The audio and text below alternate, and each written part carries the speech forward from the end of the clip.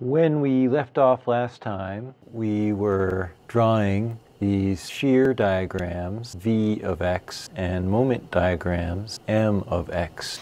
And these diagrams were telling us for a beam whose coordinate x goes from 0 at the left end to L at the right end, if you cut the beam somewhere, section it, what force V and what torque M does one side of the beam have to exert on the other to keep both sides in equilibrium? One point that we made earlier that we can make again now is if I have two sides of a beam and a section here, the near end needs to exert not only a force but also a torque to hold up the far end. You can see I'm exerting a force, uh, here I am the near end, I'm exerting a force on the far end. That's enough to keep it from falling to the ground, but it's not enough to keep it straight or nearly straight. To keep it straight or nearly straight, to keep it from, from pivoting like this, I need a torque, and that torque is provided by the, in the case of a cantilever, the tension in the upper fibers and the compression in the lower fibers.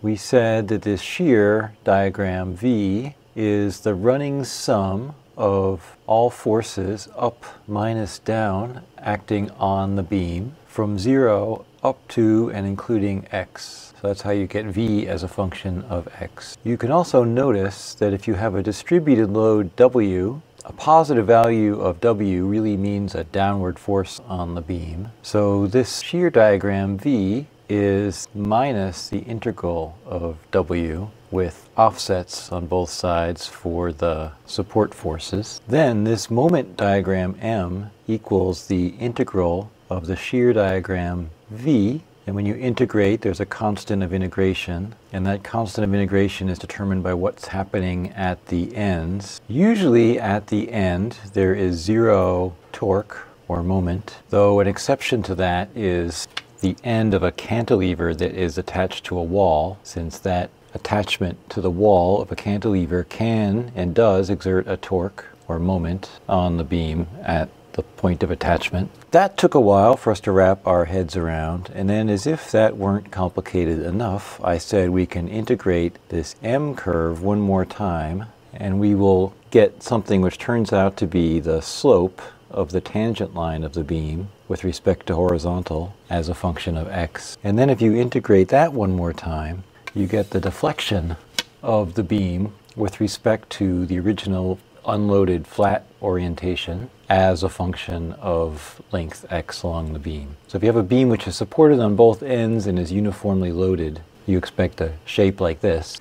And if you have a beam which is a cantilever that's loaded at the end or is uniformly loaded, then you expect a shape like this. We also said earlier that the stiffness of the beam is proportional to this second moment of area, which for example distinguishes a plank from a joist. And we said that we would later show that the deflection is inversely proportional to that second moment of area, I, but we just said it, we didn't prove it. So we want to use some math and some geometry to argue why these statements are true. Earlier you read a Giancoli chapter and you noticed that if a person stands on a diving board, then the top surface of the diving board is in tension, it gets elongated, and the bottom surface of the diving board is in compression, it gets squished. And so we can sort of make that same effect here with this piece of foam. So I start out with lines that are forming a nice rectangular grid,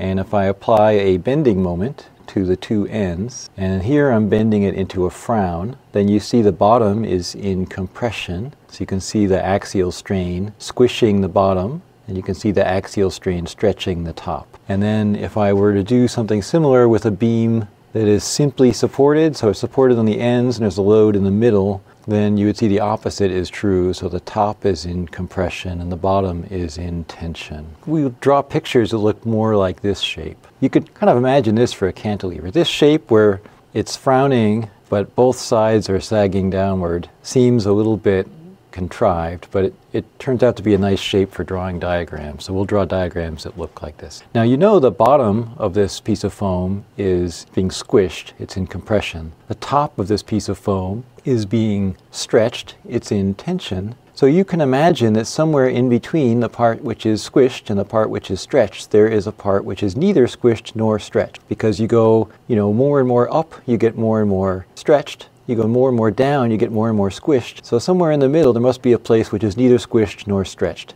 So that is called the neutral surface. So the neutral surface, if you have a uniform material and a rectangular cross section, then the neutral surface is right through the middle. If you have a uniform material, the neutral surface will be through the centroid. And many textbooks, so Onouye's included, start out include some drawings that show how the history of thinking of what happens to a piece of material when you load it like this.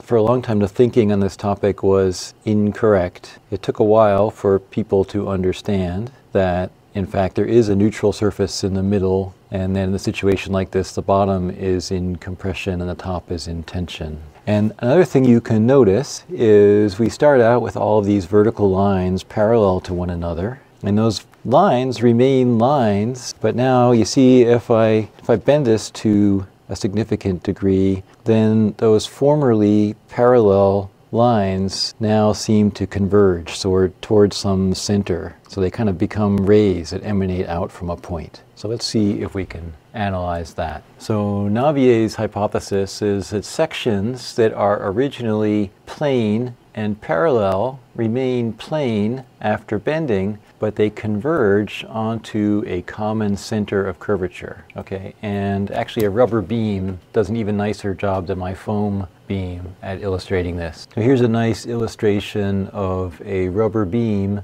on the top in its non-flex state where you have this nice rectilinear grid drawn on it and then in the bottom in its curved state, so there's a bending moment applied to it. It's being bent into a circular arc and you can see that the previously parallel lines that are vertical on this green piece of foam, if we bend the green piece of foam into a circular arc, then those lines all converge onto the center of curvature. So that hints at how we can use geometry to argue how the strain, that's the amount that the material is squished or stretched, changes as a function of how far we are away from that center of curvature. This little model of a beam is intended to reinforce the idea that for a cantilever, for a beam which is frowning, the top is in tension and the bottom is in compression. So we have three springs here. This one will basically represent our neutral surface and this will represent the top surface and this will represent the bottom surface. Notice we have all these vertical colored stripes and there is a black stripe that you can't see right behind this edge. Now if we move this over past the end of the table then you will see that the, our neutral spring in the middle basically stayed the same length so you see it's not really stretched or compressed it's lined up still with the black tape. The top which is in tension is longer so it's beyond the black tape and the bottom which is in compression is shorter so it is shorter than it doesn't doesn't reach the black tape and it, and it almost doesn't reach the green tape even. So this is a nice demonstration again that we have for a cantilever we have tension on the top compression on the bottom. We've said many times now if I bend a beam into a frowning shape we have tension on the top compression on the bottom. These lines which start out parallel perpendicular to the beam axis parallel to one another bend. And if I were to bend the beam into a circular arc then I should get a pattern that looks like lines that converge to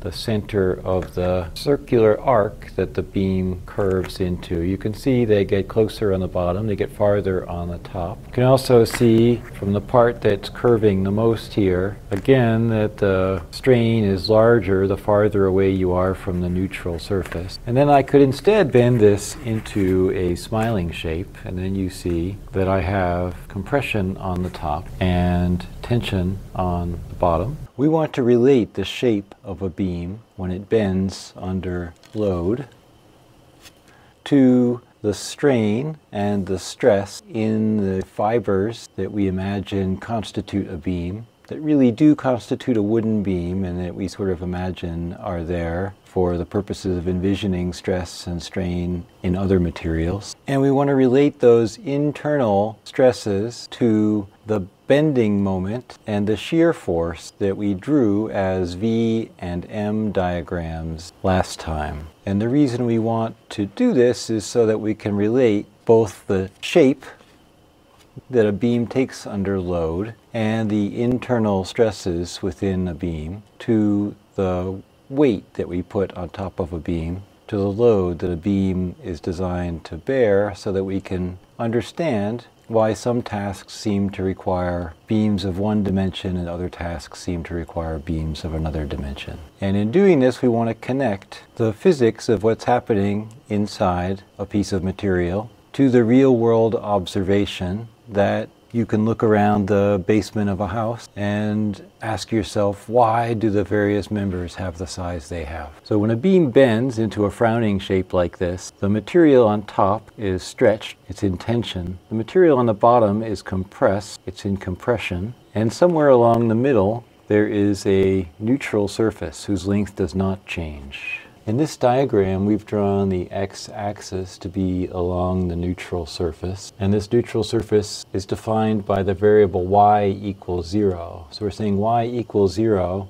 is the neutral surface. y is going upward. y is also the direction in which gravity acts. So we're accustomed to looking at the weight loaded onto a beam by looking at an xy view. We said x was the variable we typically use to describe the length of a beam, the axial coordinate going from one end to the other. So this would be the x-axis going from one end of this hypothetical beam to the other. The y-coordinate is vertically upward in this case. So Navier's assumption is that when you bend a beam, there is a neutral plane whose length does not change. That neutral plane can be bent into a circular arc, an arc which is a portion of a circle. And these surfaces of constant y, here's y equals 0, Here's the very top surface, which we were calling y equals plus h over 2 when we looked at cross sections. Here's the very bottom surface, which we were calling y equals minus h over 2 when we looked at cross sections. Those surfaces will also bend into circular arcs. So the top surface will bend into a circular arc of larger radius, and the bottom surface will bend into a circular arc of smaller radius. And I think you can see that for this top portion of this foam beam. You can see one circle another circle, another circle, another circular shape. And then you can see that the lines, which initially were vertical, have become radial lines, but they're still lines. So these lines are still lines, but now they are radial lines. These planes that we could cut perpendicular to the axis of the beam remain planes, but they become radial planes. So this is constant x, constant x, constant x. So these surfaces of constant x are still lines, but they're no longer parallel to one another. Now they are radial lines emanating out from this point to which all of these radial lines converge. So this x-axis bends into the arc of a circle of radius r, and then up here at y equals y equals plus h over 2, so this y equals plus h over 2 bends into an arc of radius r plus y, so that's r plus h over 2, and this lower line, which corresponds to y equals minus h over 2, bends into a circular arc of radius y equals r minus h over 2 we take this orange interval, whose initial length is L0, along the neutral surface, its length still equals L0. Up above the neutral surface, for this frowning shape, its length is bigger than L0. Down below the neutral surface, its length is smaller than L0. And by using the fact that these are circular arcs, we can see exactly how much bigger than L0 this is and how much smaller than L0 this is by taking these surfaces of constant y to be circular arcs with the same center. So if this distance from the common center is r up to the y equals 0 plane, then this distance up to the top surface of the beam must be r plus h over 2. And in general, for some value y, this distance must be r plus y. y is bigger than 0 up here, y is smaller than 0 down here. Then, if we call this little wedge angle theta measured in radians, then we know what this L in the middle is. This L equals r theta. So if we measure the angle in radians, we can just get the arc length as the radius times the angle measured in radians. And then we don't have to just say this is bigger than L0. We can say this new length is r plus h over 2 theta. And this is r minus h over 2 theta. And in general, if we have a distance y above the neutral surface, then this new arc length is r plus y times theta. So we had a small circular arc of initial length L0, which equals r theta, has length L equals r plus y theta after bending. That tells us that the strain, the strain is the change in length divided by the initial length. So we can easily work out the strain from the ratio of the original length and the new length. So the strain, I'll use little e, I think Onouye uses lowercase epsilon. This is L minus L initial divided by L initial. So that would be R plus Y theta minus r theta over r theta, and the theta cancels out. And what's left is y over r, which is the height above the neutral surface divided by the radius of curvature. And again, to get that, we said that the neutral surface is bent into a circular arc of radius r. So if you say it's a circular arc, that circular arc has some radius, so r is just what that radius happens to be. And you say, okay, these other surfaces of constant y form concentric circular arc. So if the radius of this arc is r, then the radius of this arc at a height y is r plus y. And at the maximum value of y, it's r plus h over 2. At the minimum value of y, it's r minus h over 2. Another way to see this same result is to draw a vertical line that intersects this radial line at the neutral surface. So this green line was initially vertical, but now it is at an angle. And as a result, this is the same length, but this has become longer and this has become shorter. So it's this sort of wedge-shaped piece which describes the added length up above the neutral surface and the subtracted length down below the neutral surface.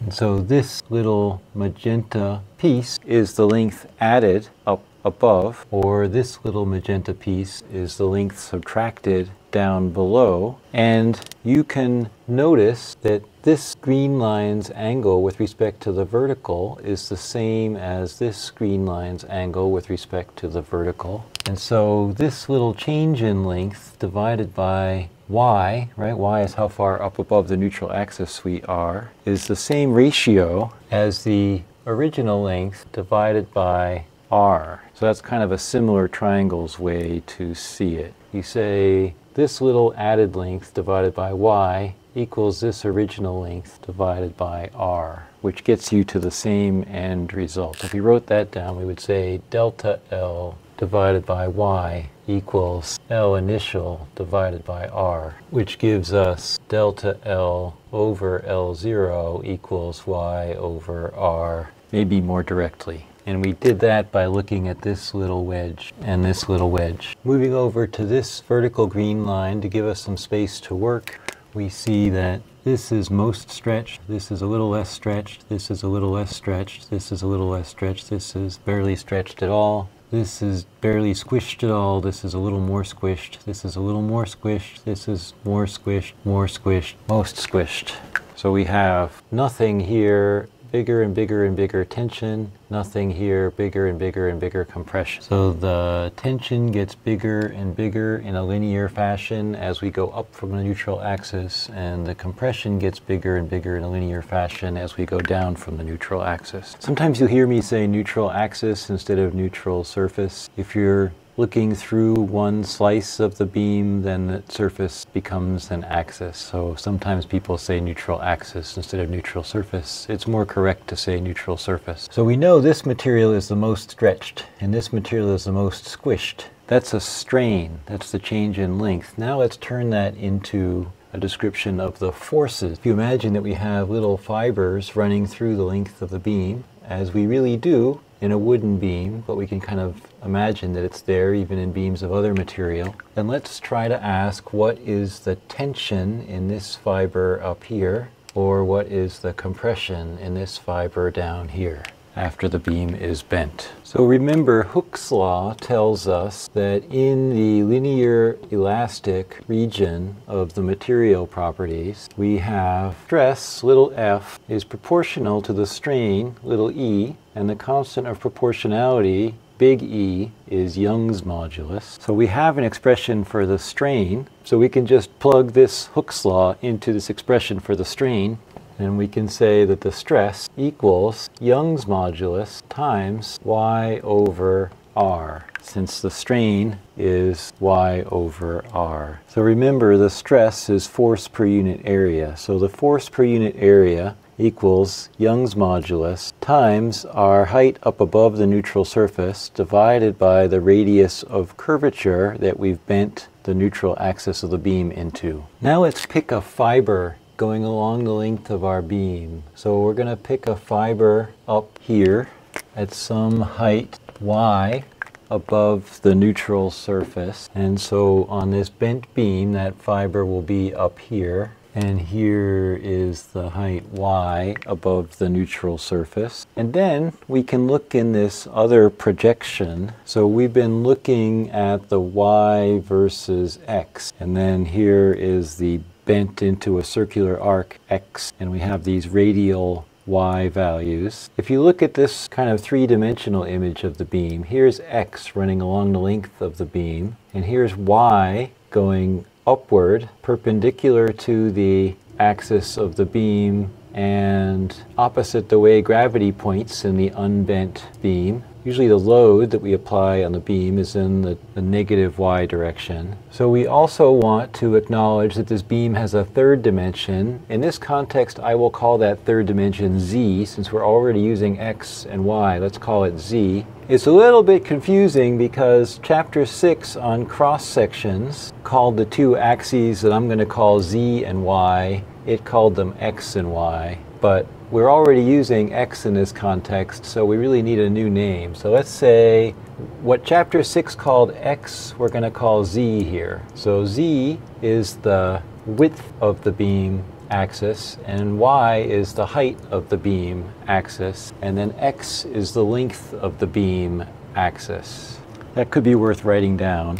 So we'll take X to point along the length of the beam, whether it's not bent or it's bent. We'll take y to point along the height of the beam, whether it's not bent or it's bent. So in the bent form, y is radial, and in the bent form, x is circumferential. And then we'll take z to point along the width of the beam. So the xy plane is where we draw our beam loading diagrams, and the xy plane is also the plane where the bending happens. And the yz plane is the plane of the cross section of the beams. And we're talking about the second moment of area for making a stiffer beam by shaping the material differently. That is this end view, the cross section view we're talking about. So for now, let's call that the YZ plane. So here's Y going up along the height direction, and here's Z going along the width direction. So if I want to pick out one little fiber I want to pick out one little spot of area in the middle of the cross section.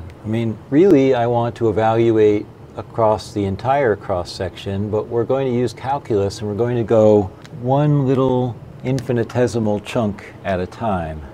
And this chunk will be a height y above the neutral surface. So here we have y is how high up this chunk is.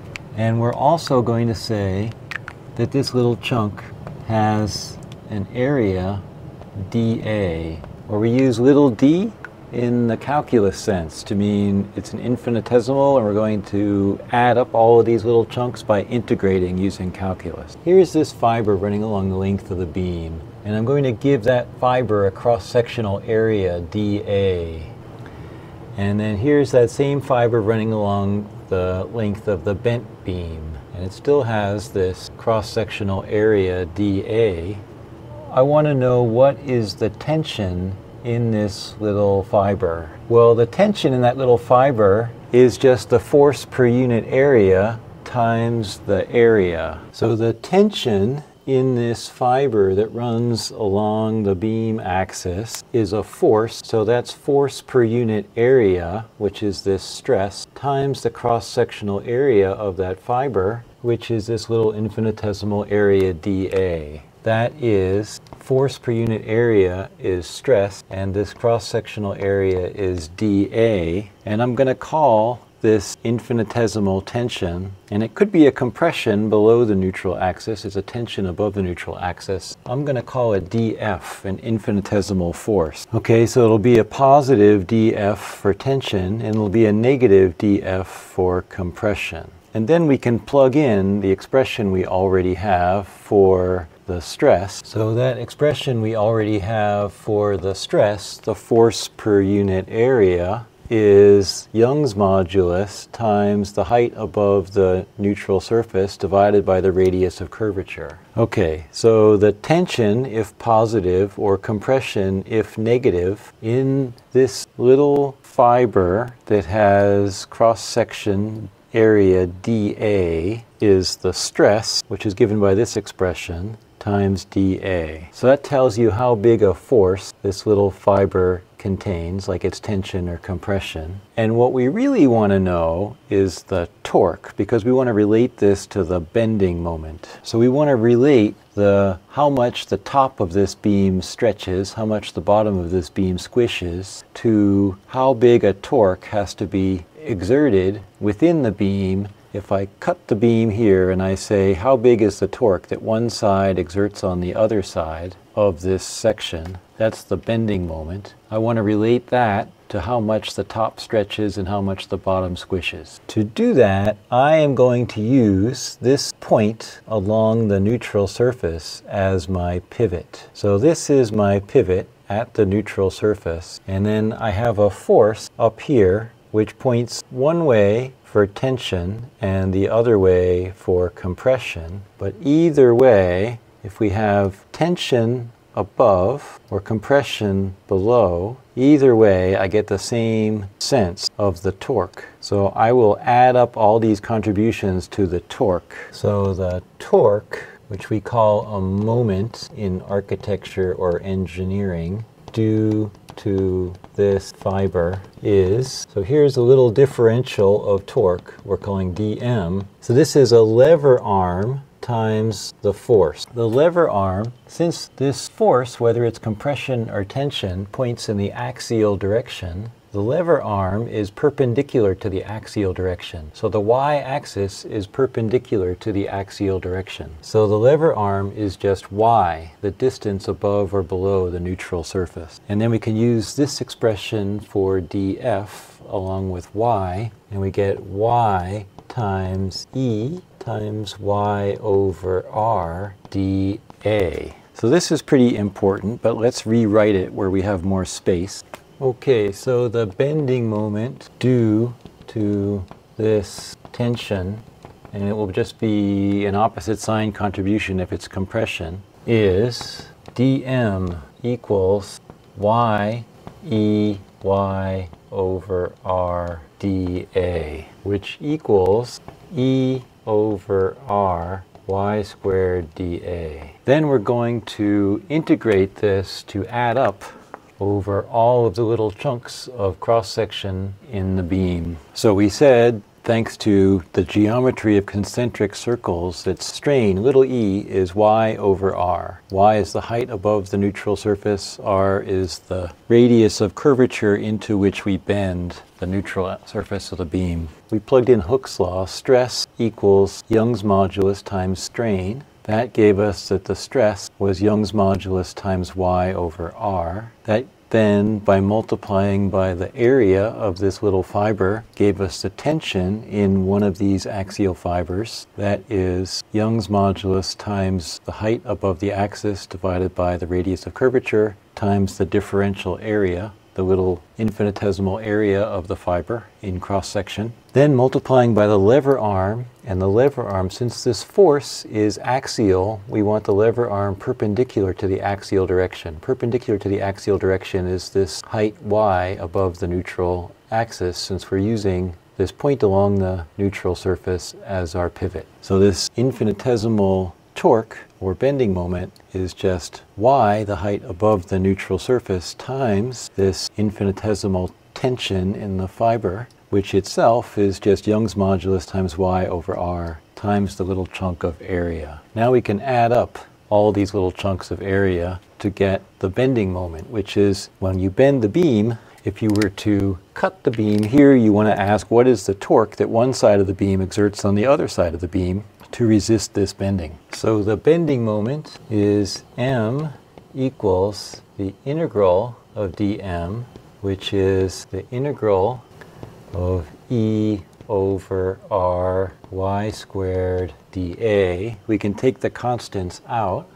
So this bending moment, which is the torque that one side of the beam exerts on the other when we section it here, is e over r integral y squared dA, which is e over r times our old friend I, the second moment of area. So this is really interesting because we were wondering why the heck do we care about this second moment of area, integral y squared dA, for the cross section of the beam? And now, suddenly, this integral y squared dA has appeared in our analysis of how do we figure out what torque half of the beam exerts on the other half of the beam when we bend the beam. So if we bend it and then we use a section, a cut right here to analyze what's one side doing to the other to hold it into equilibrium, we can say, okay, what's the torque exerted by one side on the other? To figure out that torque, we have to figure out all of the little forces, and we have to multiply each little force by its corresponding lever arm. Its corresponding lever arm equals how far up above the neutral surface is it. And then what that individual force is, multiplied by the lever arm to get the torque, what that force is, is the stress in this fiber times the cross-sectional area of this fiber. And the stress is just proportional to the strain by Hooke's law, and the strain is proportional to how far away from the neutral axis I am because the surfaces of constant y bend into a sequence of concentric circles and the concentric circles that are up higher are of larger radius and the and therefore larger circumference, and the concentric circles that are down lower are of smaller radius and therefore smaller circumference. So this mysterious sum, the second moment of area, the sum or the integral of y squared dA which is what distinguishes this beam shape from this beam shape from this beam shape, for example, has appeared here when we try to connect the forces and torques inside the beam to the deflected shape of the beam. And it's worth going back to ask why are there two factors of y here? I always found this mysterious. Why is it y squared dA? Where do the two different y's come from? One y comes from the fact that the strain is proportional to how far up you are from the neutral surface. So the farther away you get, the bigger the strain is, and the stress is proportional to the strain. The other factor of y comes from turning that force into a torque. To turn that force into a torque, you multiply by a lever arm, and if we're pivoting about the neutral surface, then the fibers farther away from the neutral surface have a bigger lever arm. Not only is there a bigger tension in the farther away fibers because the strain is bigger, but there's also a bigger torque because we're farther away from the neutral surface and therefore we have a bigger lever arm. So that's sort of the neat thing about where the two factors of y come from in y squared dA. One of them comes from strain how much it's stretched being proportional to how far I am from the neutral axis. And the other comes from multiplying a force by a lever arm to get a torque. And the lever arm is how far up I am from the neutral surface. We have here a really simple model of a beam. This bolt serves as a pivot. So you can see everything else is pivoting around this one bolt that my finger is resting on. Uh, each half of this beam is sort of sectioned here. Each half of this beam is a little piece of pegboard. And then over here I have four rubber bands attached to four pairs of bolts. And four rubber bands are respectively one and a half, three and a half, four and a half, and five and a half pegs above the pivot. You can see the pivot is in between two pegs here. I have a little weight on here now just to counteract the force exerted by these rubber bands to keep this initially approximately unbent. If I increase the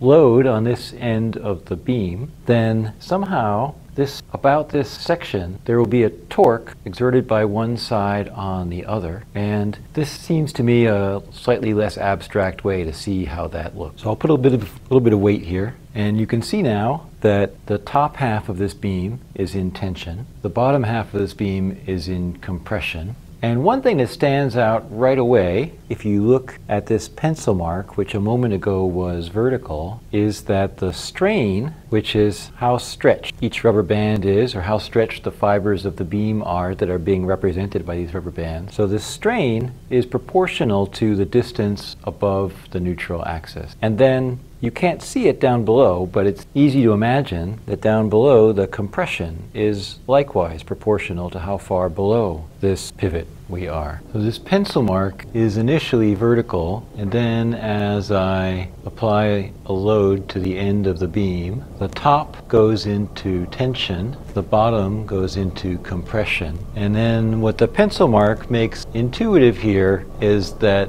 the strain of these fibers of the beam a distance y above the neutral surface is proportional to y. So the farther up you are from the neutral surface, the larger the strain, and in a proportional way since this is just a triangle. So the strain is proportional to how far you are above the neutral surface for a beam that is frowning. And if the beam were smiling, it would be the other way around. the bottom, the strain would be proportional to how far we are below the neutral surface, and the top would be in compression. But we've built this model so that it frowns rather than smiling. So the top is in tension, the bottom is in compression. And you can imagine that this rubber band is stretched the most and this rubber band is stretched the least. And then if each rubber band were a Hooke's law spring, then the force exerted by each rubber band would be proportional to how stretched it is. So statement one is that this strain is proportional to how far up we are above the neutral surface. Statement two is that the stress is proportional to the strain. That's Hooke's law. That means that the force exerted by each little fiber is proportional to how far up that fiber is from the neutral surface. Then, using this point along the neutral surface as a pivot, you can see that the corresponding torque is proportional to this force times the distance above the neutral surface, since the distance up from the neutral surface is perpendicular to the direction of this force. So the lever arm equals the distance above the neutral surface. So the force in each fiber, the tension in each fiber, is proportional to how far up that fiber is from the neutral surface. And there's an additional factor of how far up we are from the neutral surface to turn that force into a torque. So that's two factors of y, this distance above the neutral surface. One for how stretched things are, this geometrical triangle shape, and a second for the lever arm to turn this force into a torque. So the contribution to the torque about this pivot from a fiber a distance y above the neutral surface is proportional to y squared. And that's the key point I wanted to try to illustrate for you about the origin of this mysterious expression, the integral of y squared dA, or the sum over all little fibers of y squared times the cross-sectional area of that fiber. So it's like the sum of y squared times delta A, where delta A is the cross-sectional area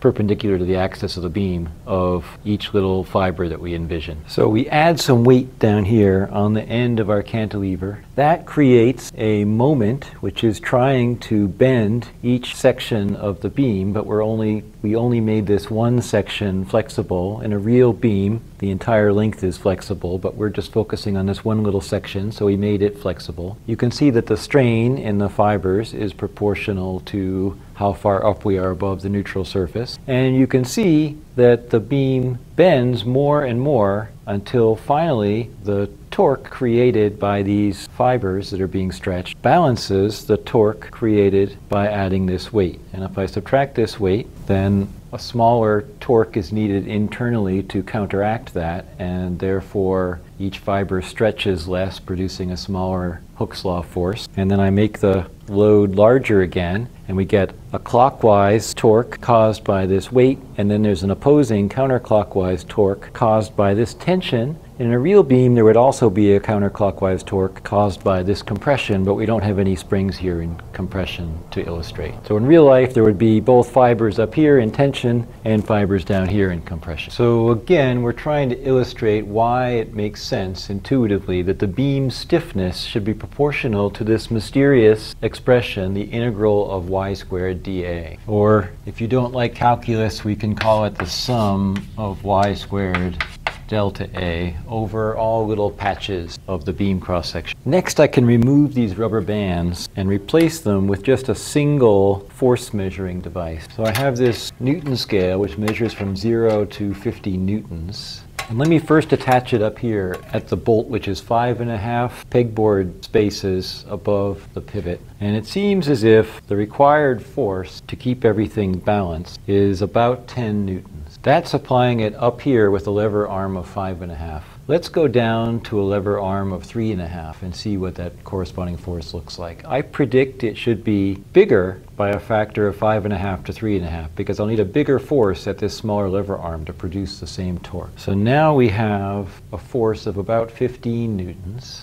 which actually makes sense because the ratio of five and a half to three and a half is about 1.6, so we'd expect about 15 or 16 newtons. And now we can move down to this one and a half peg mark space. And the ratio of five and a half to one and a half is about 3.7. So I think we expect about 37 newtons now if we move down to the one and a half pegboard location. Well, it seems like something's a little bit off in my calculations. I only get about 30 newtons when I thought I would get more like 36 newtons. But qualitatively, it's still not bad. Let me try it again with these little weights removed so I don't need quite so big a force.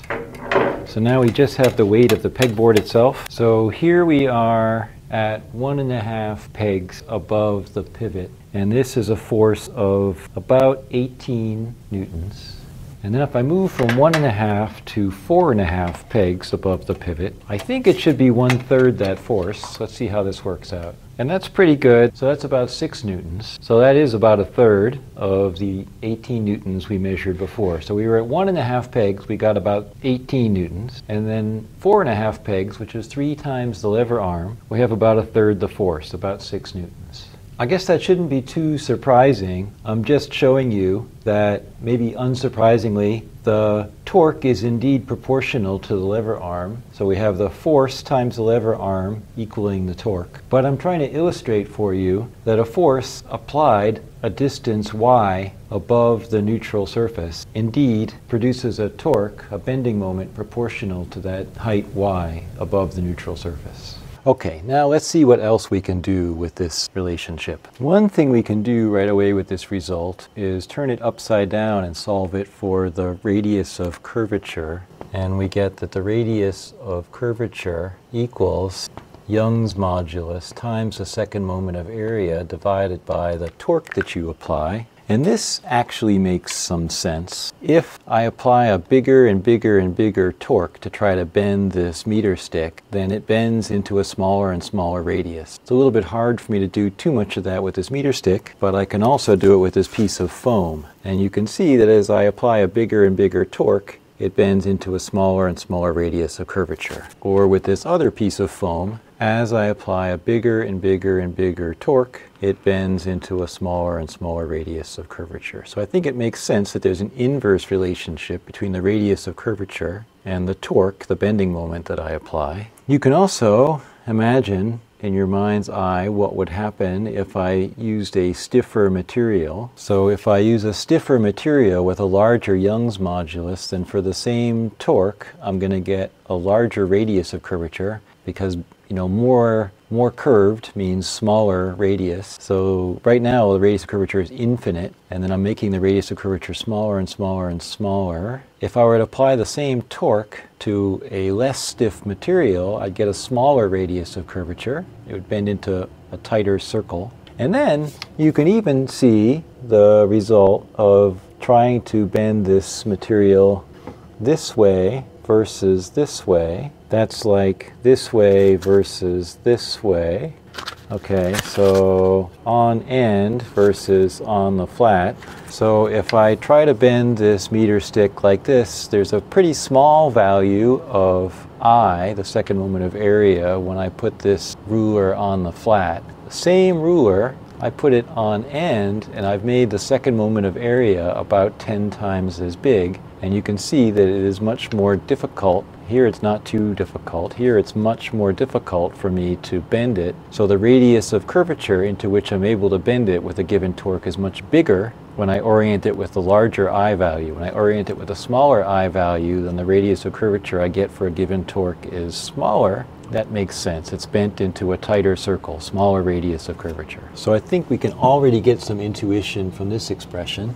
I have here three different meter sticks. Let's look at these two first. So these two meter sticks are of, one is plastic, the white one is plastic, the one that's wood color is wood. And you can see that their cross sections are very similar, if not identical. Okay, so they seem to have the same cross sectional shape and size. So what differentiates them is that their two materials have very different Young's moduli. So we worked out on the light board that the radius of curvature of an object when you apply a bending moment, so bending moment is a torque. So if I apply a torque to the two ends of this meter stick, then initially it's a straight line. A straight line has infinite radius of curvature. So it's not curved. Its second derivative is zero. So the radius of curvature, which is inversely proportional to the second derivative, is infinite since the reciprocal of zero is infinity. So if I apply a bigger and bigger bending moment, that's a bigger and bigger torque, then this bending moment is downstairs. It bends into a smaller and smaller radius of curvature. I don't want to bend it too much or it will snap. Now when you look at the cross section of this meter stick, you can see that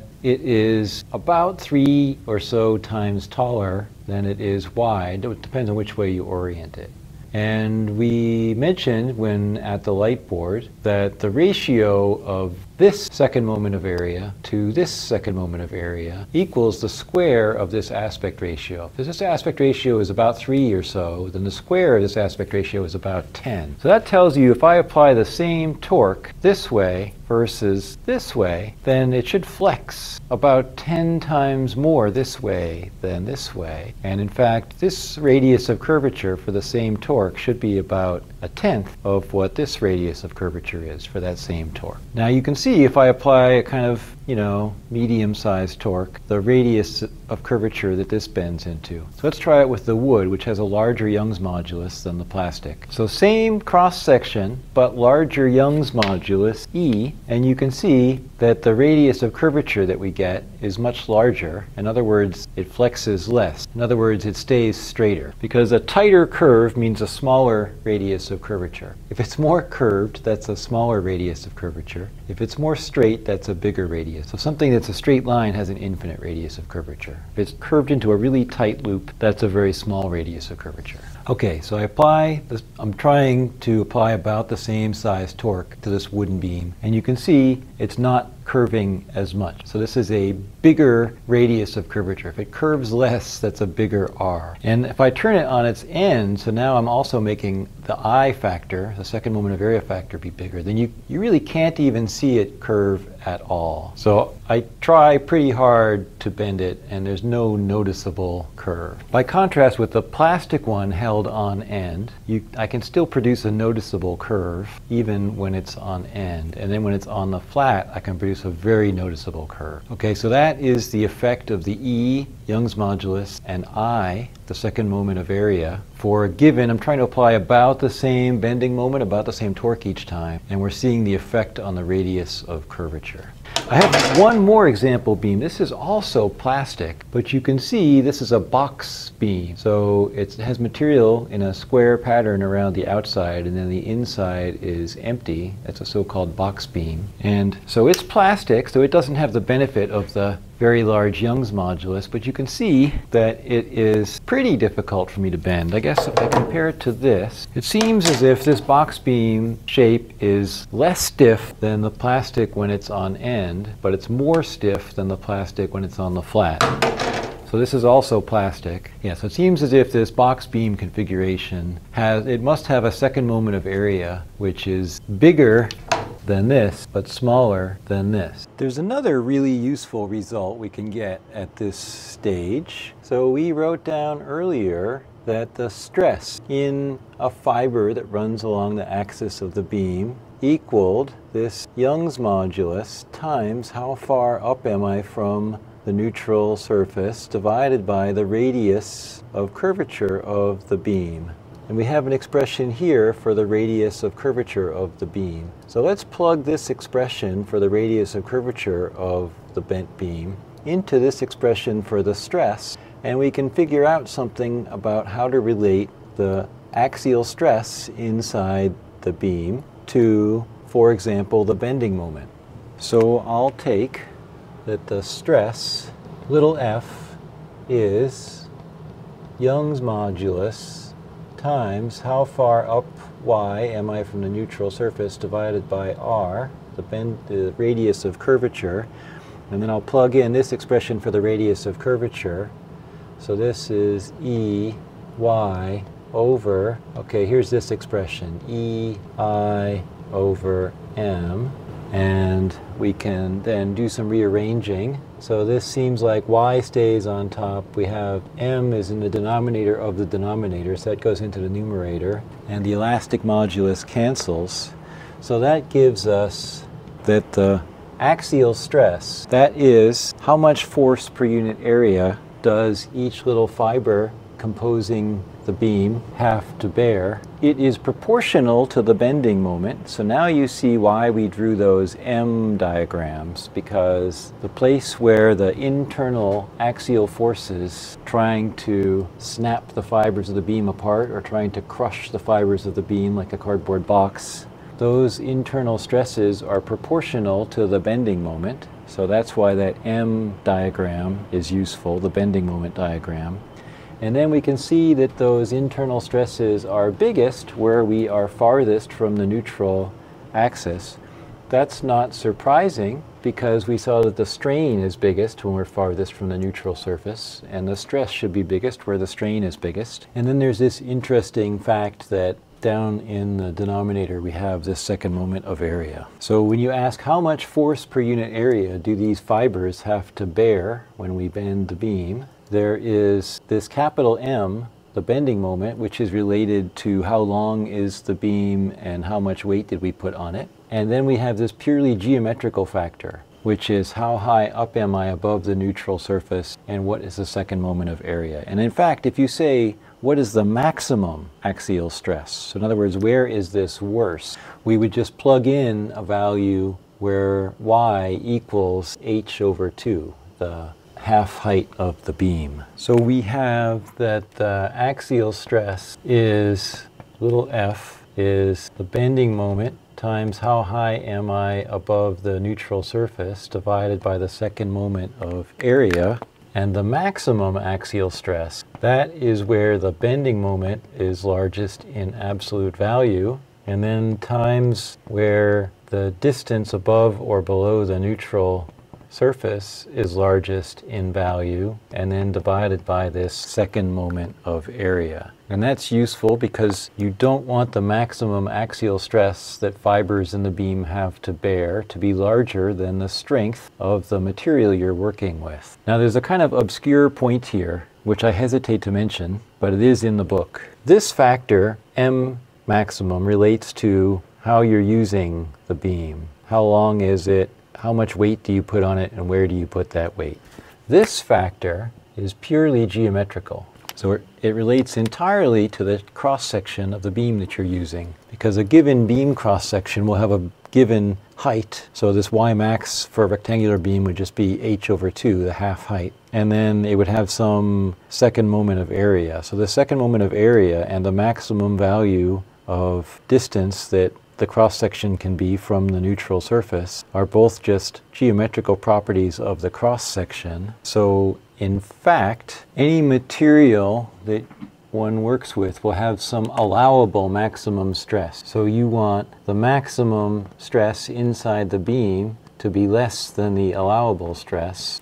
Therefore, you want this bending moment times this geometrical factor, y max divided by i, to be smaller than the allowable stress for the material you're using. And this expression in parentheses is the reciprocal of a geometrical property of beam cross sections called the section modulus. This is really obscure. You certainly don't have to remember this, but there's this thing called the section modulus, which is a purely geometrical property of the beam cross section.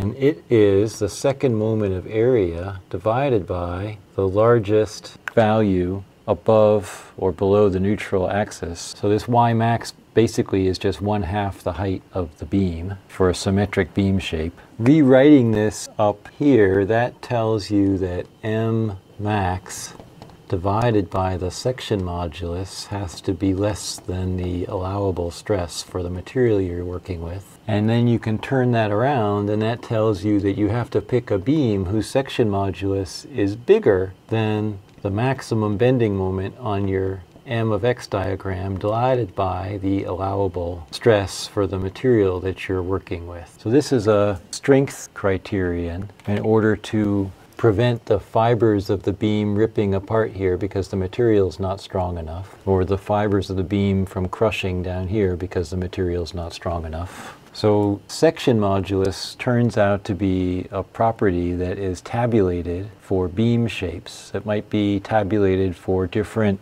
rectangular beam shapes of gradually increasing depth if you're using lumber, or it might be tabulated for different I-beam shapes as the I-beams become larger and larger. So knowing what material you're working with gives you an allowable stress. And then knowing the largest value of the bending moment from this M diagram, which you know from how you're loading the beam, tells you this numerator. And then the ratio of these two things says, well, I have to look in my table of available beam shapes and pick a beam shape which is larger than this ratio in order to satisfy this strength criterion. That's a little bit of a digression. But while we had this expression written down and while we had this expression written down, it was the appropriate time to bring up that digression. What we're really more interested in is how do we get the shape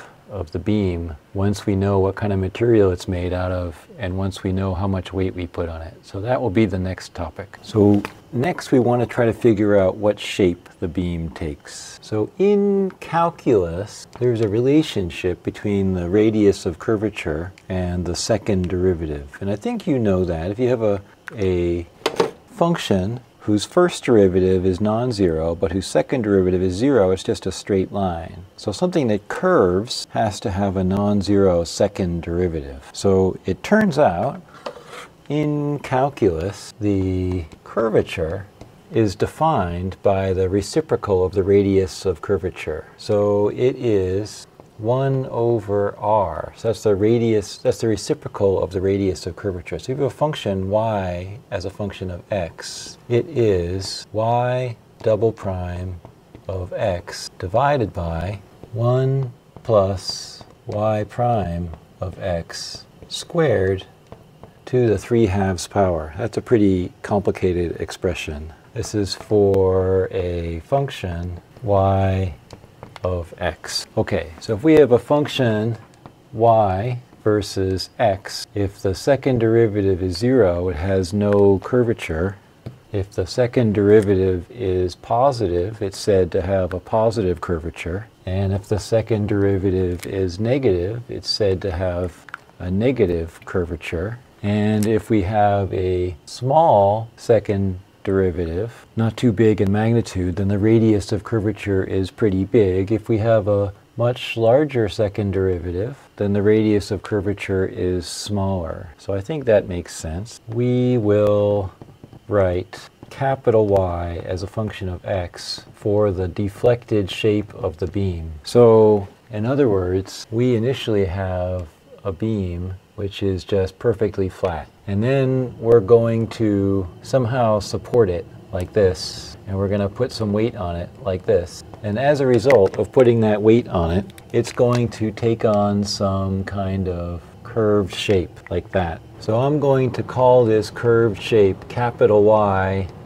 as a function of x. I don't want to use little y because we're using little y as the height above the neutral surface. So I'm going to use capital Y just to give us a new variable to work with. So capital Y will be the shape that the beam takes after we put weight on it. So capital Y equals zero, the whole length would be the original undeflected shape. And then here capital Y is bigger, here capital Y is smaller. So I guess capital Y will kind of become negative in the middle if it's simply supported. Or if it's a, you know, a cantilever, and we have capital Y versus X, it will be something like this. So capital Y will become negative at the far end. So if we have like something that starts out life like this, and then we put a weight on it and it bends into a shape like this, then this will be our capital Y axis and this is our X axis. So this will be a negative value of capital Y. So here we'll have capital Y is less than zero for the deflected shape of the beam. Okay, so, so if you just graph the shape that the beam looks like as a function of X, where X is just, again, you know, length along the beam, or original length along the beam, then I'm going to use capital Y for that. Now, in real life, a beam bends a little bit, but not very much. Something that bends this much is very unrealistic. So in a common approximation that is used, and this is an approximation, but it's an approximation that's valid for ordinary circumstances. The approximation that we'll use is that y prime of x in absolute value is much smaller than 1. So this is the small deflection approximation. It's not so much an approximation as a limiting case. So it's kind of like taking just the first one or two terms in a Taylor series. If we assume that the slope of the beam is not gigantic, which is true for anything you would use in ordinary construction, this term goes away and we're left with this is just equal to y double prime of x. So we are going to use capital Y as a function of x for the shape that the beam takes on after it is deflected under load. So if we have this cantilever and we put a big load here at the end and it deflects into some curved shape, then we'll still have y equals zero at the place where it's attached to the wall, but y will become smaller and smaller and smaller than zero as we go out farther away from the wall where it's attached, for example.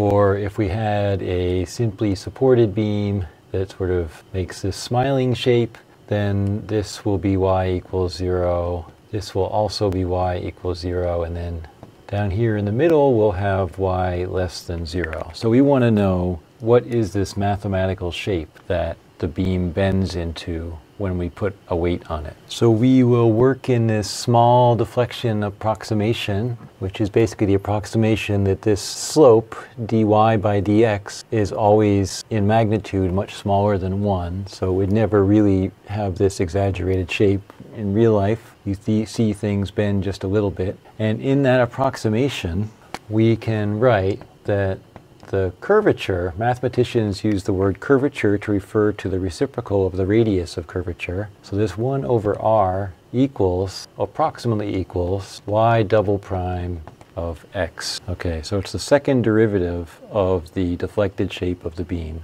And so 1 over r is just the reciprocal of this expression. So that is m, and we know that we already know how to write the bending moment as a function of x, and then divided by e I.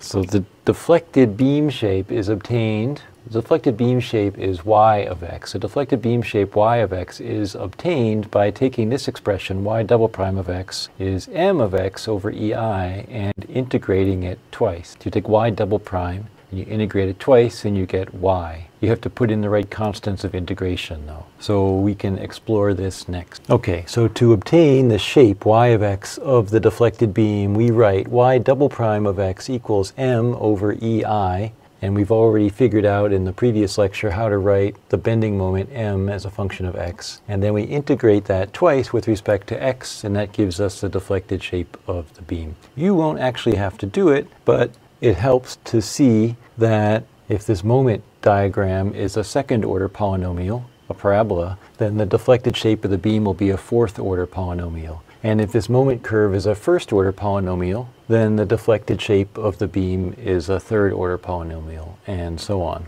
Okay, so we can write y of x is the integral dx of the integral m of x over e i dx. And usually the material type, which gives you the Young's modulus, and the cross-section are both constant. They don't depend on length along the beam. They're the same everywhere along the beam. So then you can pull the constants out and you get an expression like this. You will never have to use this expression. I will use it once or twice for you to show you where some of these results come from. Normally, what you want to know is what is the largest value of y in magnitude. So if you have a cantilever, you want to know what's the maximum deviation from zero of the shape of the beam. How far does it deflect at the end? Or if you have a simply supported beam, which then bends into this shape, you want to know how big is this y value in the middle? How, how much does it sag in the middle compared to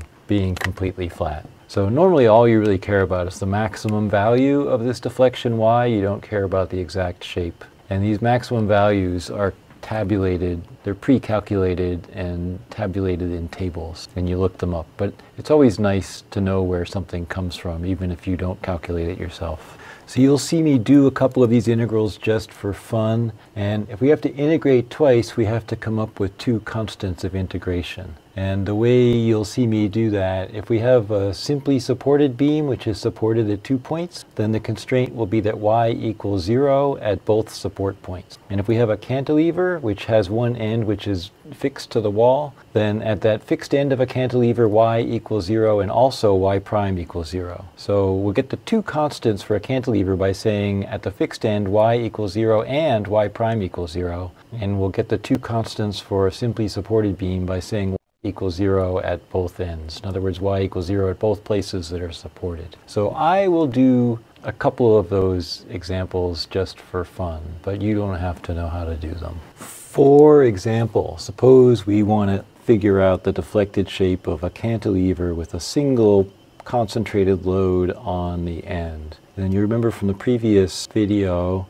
the shear curve V was the running sum up minus down of all the forces on the beam. So that's just up to plus P on the left side and then back down to zero on the right. So it just looks like this. And then the moment curve is the integral of this and it has to be zero at the free end and it can be non-zero at this cantilever fixed end. So this is minus PL over here and it's zero over here. So there's a positive slope. That makes sense. It also makes sense as a negative value because the beam is frowning. Then we can write an expression for m of x. Okay, so we could say m of x is p times x minus l. So at x equals l, this has the value 0, and at x equals 0, this has the value minus pl. So that seems pretty good. So then we can just use this expression. Okay, so we take this moment curve for the cantilever, which is minus PL at x equals 0, and it's 0 at x equals L. So writing a functional form for that, the moment function is P times x minus L. We can integrate that once to get the first derivative, the slope, y prime of x. So I'll factor out the P since it's a constant. P over EI, integrate x minus L as a function of x. So this is x squared over 2. The second term gives us L times x. So there's a constant we have to find. But for a cantilever, the fixed end of a cantilever has zero slope. So y prime of 0 should equal 0. That tells us that this constant equals 0. So the derivative function, the slope of the beam, is p over ei x squared over 2 minus lx then we can integrate once more to get the deflected shape of the beam. So we have x squared over 2 minus lx. We're integrating that. This term gives us x cubed over 6. This term gives us lx squared over 2, and then there's an undetermined constant. But the fixed end of the cantilever has y equals 0, so this constant must be 0. So that gives us y is p over ei x cubed over 6 minus lx squared over 2. So if we plug in x equals l, we get l cubed over 6 minus l cubed over 2. So 1 sixth minus a half is minus a third. So that's p l cubed over 3 ei with a minus sign because it's deflected downward. So indeed, if you look it up in a table, the maximum deflection of a cantilever with a point load at the end is PL cubed over 3EI. So that's sort of neat.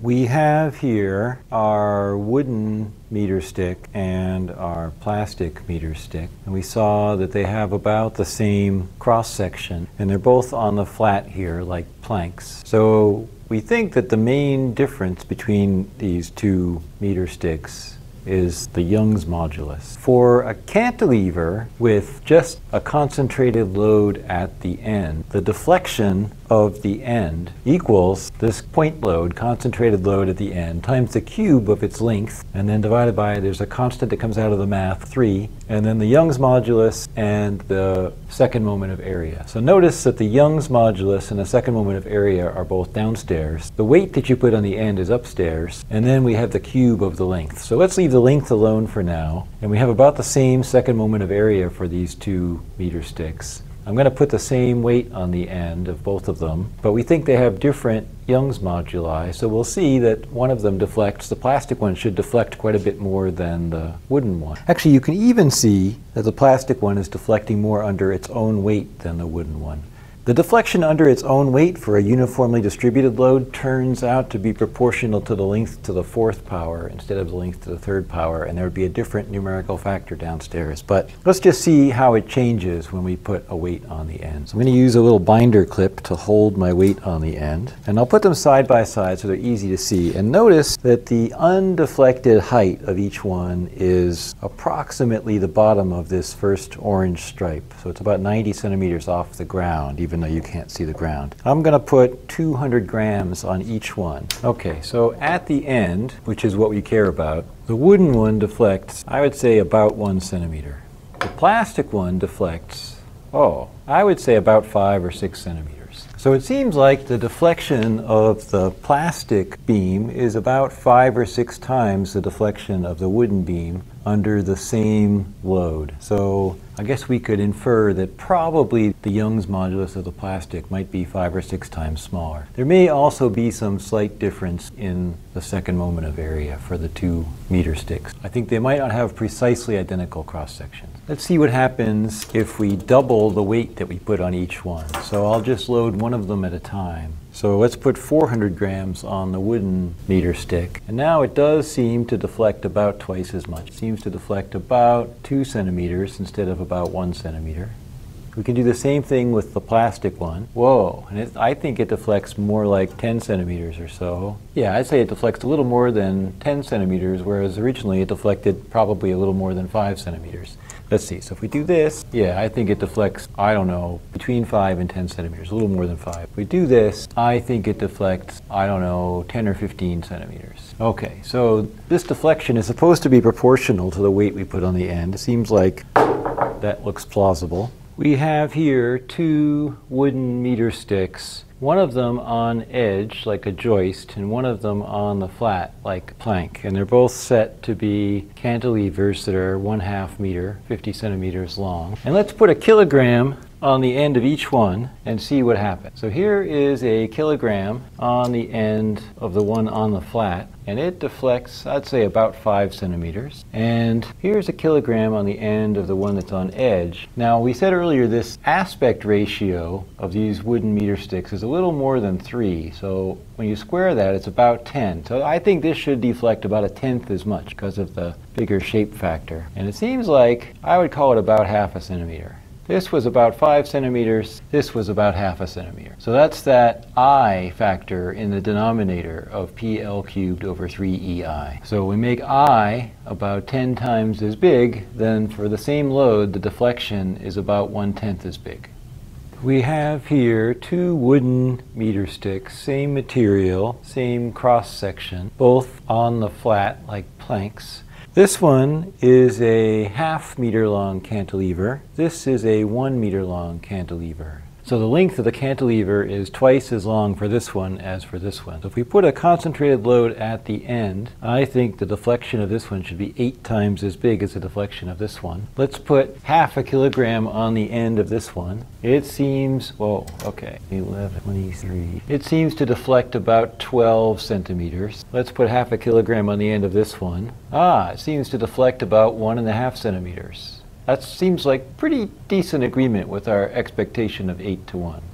You absolutely don't need to know how to do this, but I think it's fun to know how to do this. I like calculus. So let's do another example. We can work out some of the classic beam deflection results. Here is a cantilever with uniform distributed load W. Okay, so W is the weight per unit length carried by the beam. So here's x equals zero on the left side of the beam, x equals L on the right side of the beam, uniform load W. Uh, the wall on the left provides an upward force WL. It also provides a torque, which turns out to be WL squared over 2. So the shear diagram, which is the running sum, the cumulative sum of forces up minus down from the left end of the beam up to X, starts out at plus WL for the upward force exerted by the wall. And then it has a downward slope of W, so the slope is minus W,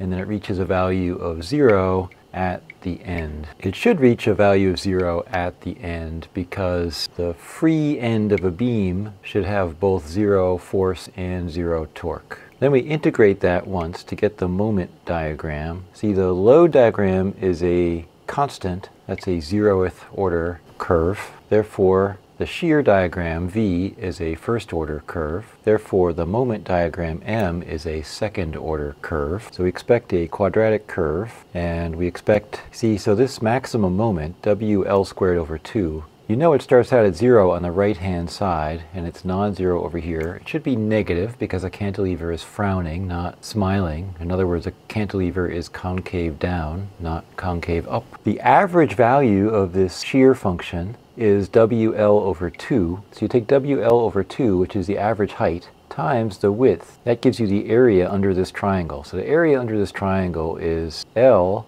times WL divided by 2. That's WL squared over 2. So that is the peak value of this moment function. We can write this in functional form. The moment as a function of x is minus w over 2 times x minus l, the quantity squared. As a check, we can take its derivative and make sure that that equals the shear function. So the derivative of this, this square comes down and annihilates this 2 in the denominator. So then we get minus w times x minus l so then the minus sign outside can just swap the order of the two terms inside. We get W L minus X. And that indeed is what we see here. It's WL at X equals zero. It's a linear curve and it is zero at X equals L. Okay, now let's try integrating that twice. So you know to get the deflected shape, capital Y, I use capital Y for the deflected beam shape, that's 1 over EI. This is Young's modulus. This is the second moment of area, which Onouye calls the area moment of inertia. And we're going to integrate twice with respect to x. Here we go. So for this first integral, if we say let u equal x minus L, then we have integral u squared du, and then this gives us du just equals dx. So the integral of that is u cubed over 3 plus some constant. So that is x minus L cubed over 3 plus some constant. We'll call this C1 because it'll be a second constant. So this is y of x is minus w over 2ei. We're going to integrate one more time. And we have 1 third x minus L cubed plus a constant. Then we'll integrate this one more time. So I guess again we can say let u equal x minus L du just equals dx. And we have the integral du of u cubed over 3 plus c1. So that is u to the fourth over 12. 3 times 4 is 12 plus c1u plus c2. Here's x minus L to the fourth over 12 plus C1 x minus L plus C2. Then we have two constants to determine. So let's do C1 first. So we know that y prime of 0 should equal 0 for, that's for the fixed end of a cantilever. The fixed end of a cantilever should have both 0 offset and 0 slope. Uh, and this expression this expression up here is y prime of x, or at least is proportional to it. So that says that 1 third 0 minus L cubed plus C1 should equal 0. Minus L cubed over 3 plus C1 equals 0. That gives me C1 equals L cubed over 3. Then we can just write that in here. Then we want to say that y of 0 equals 0 since the fixed end of a cantilever has 0 deflection. Also any point which is supported on a beam has 0 offset. So that gives us 0 minus L to the fourth power over 12 plus L cubed over 3, 0 minus L plus C2 equals 0. So keeping C2 on this side, moving, I can move this over to the right and it becomes positive, and I can move this over to the right and it becomes negative. So I have L to the fourth, 1 third minus 1 twelfth. 1 third minus 1 twelfth. This is 4 twelfths minus 1 twelfth is 3 twelfths, which is a quarter. So we have C2 is L to the fourth over 4. So then we can just write that in here. Then let's plug in and see what we get for y equals L. In this case, we know just by eye, by inspection, that the end of the beam will be the part with the largest deflection. So we can just plug in x equals L and see what y is at x equals L, and that will, in this case, be our largest deflection. So y at x equals L is minus w over 2ei so L minus L is 0, so that first term is 0. L minus L is 0, the second term is 0, and we get L to the fourth over 4. So this is minus W L to the fourth over 8EI. Okay, so that's the deflection at the far end of a uniformly loaded cantilever. Usually if you see this result written up in a table, it won't have the minus sign because the deflection is clearly going to be downward. So what's reported is the deflection. So you'll say, sometimes the deflection delta is the opposite of what we're calling y. y is the shape that the beam traces out. So you say, well, how far does it go down? So that's just minus y. So then you say delta max, the maximum deflection is w L to the fourth over 8 I. And I don't use these results the way Professor Farley does. So I looked at my notes and confirmed that this is indeed the accepted answer. That's good. We seem to have done it correctly. Let's try another example. How about a simply supported beam with uniform distributed load W? So W is the weight per unit length along the beam. The length of the beam is L. Here's X equals zero, here's X equals L. We have a hinge support here, a roller support here, but really we just have a single vertical force at each end. And we know that each one of these must just equal WL over 2 since the load is symmetric and it has to add up to W times L. So then running sum, cumulative sum, up minus down from the left end of the beam up to x. So you start at 0. So at 0 you have plus WL over 2. Then we have a slope downward of W because that's our uniform weight per unit length. And then we get to the very end. Just before the very end, we're at minus WL over 2, and then the support on the end takes us right back up to zero. Well, this is my favorite example because this graph looks exactly like the upward velocity as a function of time for a ball thrown straight up in the air. So you know the integral of this, so if this were the velocity in the y direction versus time, then you know you would integrate that and you would get this parabolic shape for the altitude versus time. So we can write a functional expression for this curve. Turns out to be, I just, I just wrote down this curve and integrated it because I wasn't smart enough to write down this parabolic form directly from my head. So I got w over 2 as a coefficient up front and then lx minus x squared. And it's always nice to check. Derivatives are a lot easier than integrals, so it's nice to check. So let's check by taking the derivative. So the w over 2 is just a constant. So L times x, its derivative is just L, minus x squared, so its derivative is minus 2x. So there's w over L, L minus 2x, and we can multiply out. You get WL over 2 minus WX. And that, sure enough, is the v of x function. So let's try finding the shape of this beam. All we really want is the maximum deflection. The maximum deflection will happen at mid-span. I think you can tell that by symmetry. You know that this shape will bend into a kind of smiley face, and it, that's not a very symmetric smiley face. It will bend into a nice symmetric smiley face. So the maximum deflection will be at mid-span. So we really just want to figure out what is y at L over 2. But before we can do that, we have to find a functional form for y versus x. This again, you absolutely positively do not need to know how to do this, but I think it's kind of fun. So y of x equals, so what's our coefficient? Our coefficient is w over 2. So this is w over 2 e i integral dx integral lx minus x squared dx. So there's m of x except for this factor, and that factor wound up outside, w over 2. I think that's good.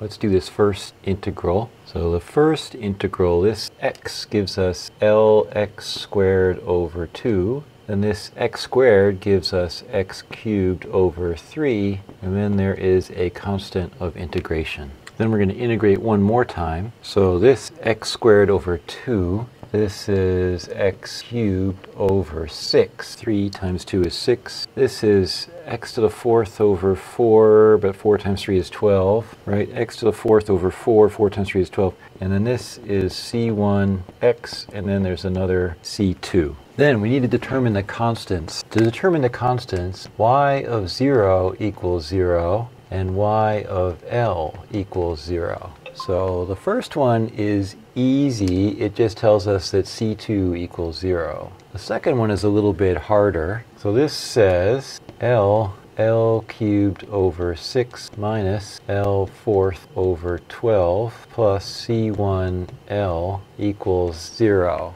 All right, we'll plug in x equals L. L L cubed over 6 minus L fourth over 12 plus C1L. That should all add up to 0. So we can cancel one L here. So we have L cubed over 6 minus L cubed over 12 plus C1 equals 0.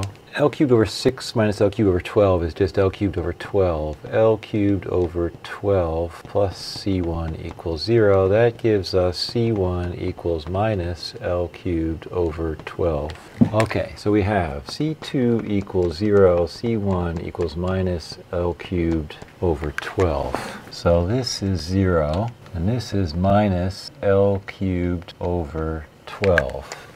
Now we just have to evaluate y at L over 2, and that will turn out to be our maximum deflection because by symmetry we know that this is going to be farthest away from 0 at mid-span. So let's just plug in x equals L over 2 and see what we get. Plugging in x equals L over 2, so we have y at L over 2. We have this w over 2 ei out front L over 6, and then we have L over 2 cubed, minus 1 12th L over 2 to the fourth power, minus L cubed over 12 L over 2 to the first power. And that last term is 0.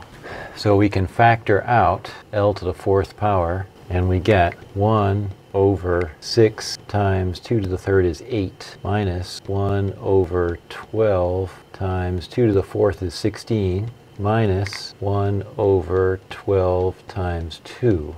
So that's W L fourth over 2EI 1 over 48 minus 1 over 192 minus 1 over 24, which works out to be 5w L to the fourth over 384 e i. Well, with a minus sign, actually.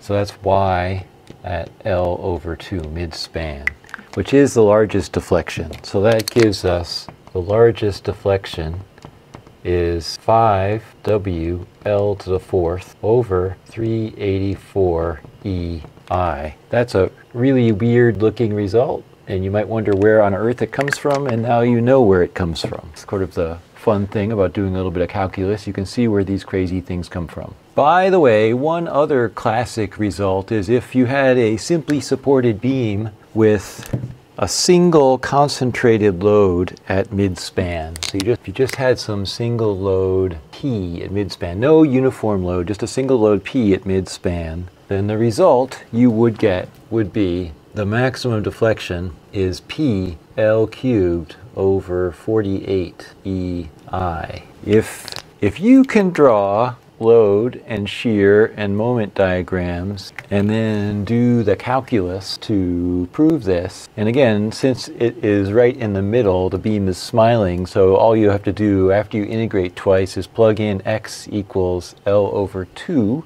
And remember, you'll get a minus sign because y of x will go downward, but you want to know the maximum deflection. So by convention, delta max is minus y at whatever value maximizes the deviation of y from zero. So if you can work this out and send it to me, that's worth extra credit. Don't do it as a form of self-punishment. Do it only if you find calculus to be as much fun as I do. So we've been using the fact that one way to represent curvature is 1 over r, the reciprocal of the radius of curvature, and that in calculus that is approximately equal to the second derivative of the function y of x. In other words, positive second derivative is concave up positive curvature negative second derivative is concave down, negative curvature. So we used this relationship between the second derivative and the reciprocal of the radius of curvature to write the second derivative of the deflected beam shape as the bending moment divided by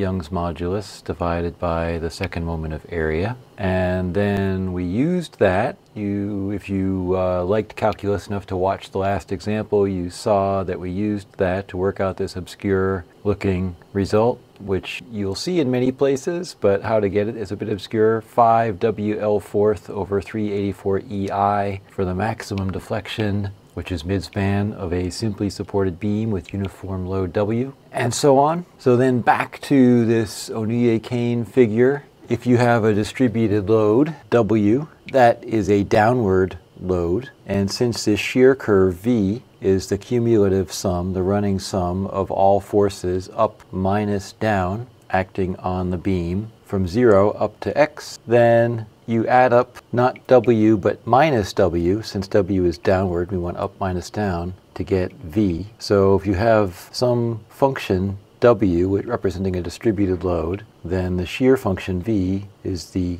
integral of minus w. So that's how this thing being positive gets you a negative slope here. Then the moment curve is the integral of the shear curve. And again, this is one of my favorite examples because this looks like the velocity vertically versus time, and this looks like the position, vertically versus time, of a ball thrown straight upward. Then you can divide by EI and integrate one more time and you get dy by dx, which is the slope of the beam. And then you can integrate that one more time and you get y I use capital Y for this rather than lowercase y because we've already been using lowercase y for the height above the neutral surface. So he writes little y, I prefer to write big Y. So this is the deflected shape of the beam under load. Okay, so now we've worked a few examples and we can see how this makes sense. And I guess then you can see the point of drawing these diagrams. Drawing these diagrams helps us to figure out, well, how much does the beam change shape when somebody steps on it or when we put a bunch of furniture on top of it or when somehow it carries a load. And then we can also ask what are the internal forces, the internal stresses that the little fibers running along the axis of the beam that we imagine are there must bear and are they excessive? Again, the most common deflection results can be found in tables, so you basically just look these things up when you need them. But, and we worked out this first one, 5WL to the fourth over 384 EI, and I left this one, PL cubed over 48 EI, as an extra credit problem if you're feeling really ambitious about your calculus skills. So basically, either you remember them or you look them up, but calculating them is just something you might do for fun. So maximum deflection is one of several beam design criteria. So this maximum deflection comes from integrating this moment over EI twice with respect to x and then plugging in the value of x where the deflection is largest. The, maybe the more important point is that deflection is proportional to the load. So the more weight you put on the beam, the deflection increases in proportion to that. So if you take the same load pattern and you just double the weight everywhere, you'll double the deflection. If you use a stiffer material, you get less deflection. You can see this Young's modulus in the denominator. And if you use a cross section with larger second moment of area, also known as area moment of inertia, you'll get less deflection. You see this second moment of area I in the denominator. And in general, you have this factor EI in the denominator. So the stiffness of a beam is proportional to EI. So there's a part that comes from the material, the Young's modulus, and there's a part that comes from the cross-section shape, the second moment of area, also known as area moment of inertia. And then one thing to notice, if you have a uniformly loaded beam, the maximum deflection goes like the length to the fourth power. Usually if you have a point load, a concentrated load, the maximum deflection goes like the length to the third power. For a uniform load, the maximum deflection goes like the fourth power of the length. And this is because, you know, the if the if you have a point-like distribution, then the shear diagram is zeroth order, so then the moment is first order. You integrate twice, you get a third order curve. That's if you have point loads, concentrated loads. If you have a uniform load, then the shear diagram is first order, so the moment diagram is second order. You integrate twice, you get a fourth order curve. So with a uniform load, you get a maximum deflection proportional to the length to the fourth power, the span of the beam to the fourth power. So Notice that if you stick a column in the middle of a long uniformly loaded beam, you reduce the maximum deflection by a factor of 16. 2 to the fourth power is 16. So it makes a pretty big difference if somehow you cut a span in half with the support in the middle. Alternatively, if you want to span a large open space without any kind of intermediate column or bearing wall, you generally need to use beams that have a large stiffness, so usually a large area moment of inertia, this factor I. So that's why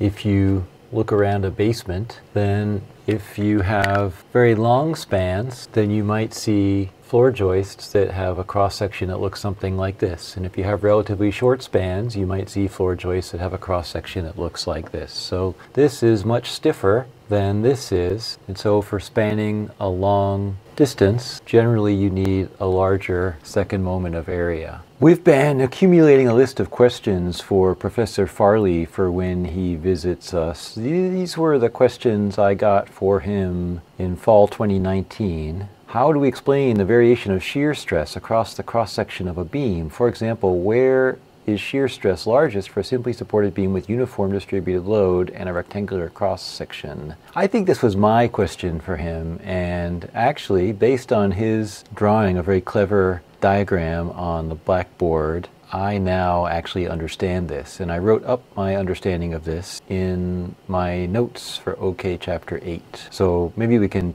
tick this off the list of questions, but here's an example. You can think up your own. Should we add to this course some physics of masonry structures like a classic Roman arch? Actually, Professor Farley didn't seem to think so when I asked him, but I still think this sounds like fun. So I, I actually would like to think this through to the point where either we decide to do it or I understand now why it's a bad idea. So uh, to be continued. For design criteria of a structure, what is meant by redundancy and continuity? I think he answered this last time we should get an answer directly from him. I think redundancy means if one member fails, are there other members there that can make up for it? And I think continuity means that loads mostly travel down vertically, so they don't have to go down and then over some significant distance and then down. Uh, and then we also got a question about how to study moments in complex shape. I didn't quite understand this question, or I don't quite remember what this question means in detail. So anyway, I bring up this list only in that I think we should try to entice Professor Farley to come visit us again. And one way we might entice him is by having a really good list of questions for him. So think up your own questions and maybe we can get him to show up in one of our last couple days of class. This diagram indicates that for a simply supported beam, the fibers farthest down below the neutral surface are the ones that are most in tension and the fibers farthest above the neutral surface are the ones that are most in compression. And then right along the neutral surface, you have neither tension nor compression. And we have that spelled out in math over here, that the stress is the bending moment times the distance above the neutral surface divided by the second moment of area. And so if you want to know where is the axial stress, also known as the normal stress, largest, so which fibers of the beam are being pulled the most or squished the most, you look where the bending moment is biggest, and then you go to the fibers, the material that is farthest away from the neutral surface. And that's generally where you find the largest axial or normal stress in the beam. So that's one reason it's important to know what is the largest bending moment what is the largest internal torque. So what's the peak, either the positive peak or the negative peak. What's the largest absolute value of this M curve? And then there's this geometrical quantity, which is the second moment of area divided by the largest deviation from the neutral surface. Usually this largest deviation is just half the total height of the beam. There's the second moment of area and then divided by half the total height of the beam is this thing called the section modulus. Anyway, so the fibers that are most stressed in that along the axis of the beam are where this product of the bending moment and the distance, either above or below the neutral surface, is largest in magnitude. If you try bending a deck of cards, you'll see that neighboring cards tend to try to slip past one another in this way. That is a shear phenomenon. If you imagine that all of the cards are initially glued together and then you bend the deck of cards like this, or like this, then since the cards on the top of the deck are bent to a different radius of curvature from the cards on the bottom of the deck, there will be this slipping past one another shearing phenomenon. And then you can imagine that in some places that shearing would cause the glue between adjacent cards to fail if they're all glued together. So let's try studying this phenomenon of shearing stresses within a beam whose cross section is rectangular. So here's a beam and we drew it with a rectangular cross section. So the width of the cross section is b and the height of the cross section is h. That would give us our familiar bh cubed over 12 for the second moment of area i. And then here's L along the axis of the beam. So earlier we worked out this really useful result that the axial stress equals my over I. So remember stress is force per unit area. So this m was the bending moment. So that's this m diagram we often draw. And let's imagine that this beam is a simply supported beam with a uniform load on the top. So it's going to bend into a smile. So then its M versus X curve would look like this nice parabolic shape. Notice that the slope of the M curve is largest at the ends. And actually remember the slope of the M curve is the shear curve, V. Professor Farley has a really colorful way to illustrate what's happening here. He says, suppose that the beam is composed of all of us lying down with our heads along the beam. So he draws all of our smiling faces at different places in the beam. He says, where do you want to be in this beam full of smiling faces? You probably want to be where the stresses are smallest. I won't try to imitate his performance. You have to see it for yourself sometime. Maybe we can get a video clip of it sometime to splice it in here. Anyway, let's try to analyze the forces acting on some little chunk of the beam right here. And I'm only going to worry about the two-dimensional slice. I'll just pretend I'm looking at the plane and not worry about the third dimension. I mean, I guess in principle what I'm doing is I'm really adding up over the width B of the beam. So the bending moment is this big over here. Let's call this A. Let's call this B. Oh, I won't call it B. We've already used the letter B. Let's call this alpha, and let's call this beta. I just hesitate to use the letter B because B is already used here. So here's alpha, and here's beta. So we can see the moment function is a little bit bigger at alpha than it is at beta. And the fibers of this beam well, here's the neutral surface. So above the neutral surface, we are in compression, and below the neutral surface, we are in tension. But we're only, let's just look at this piece up above the neutral surface for now. And you know that these forces per unit area are bigger in proportion to how far up I am above the neutral surface or how far down below. So these little arrows will get shorter as we get closer and closer to the neutral surface. Also notice that all of the arrows are smaller on the right side than they are on the left side because they have to add up to a smaller bending moment on the right side than on the left side.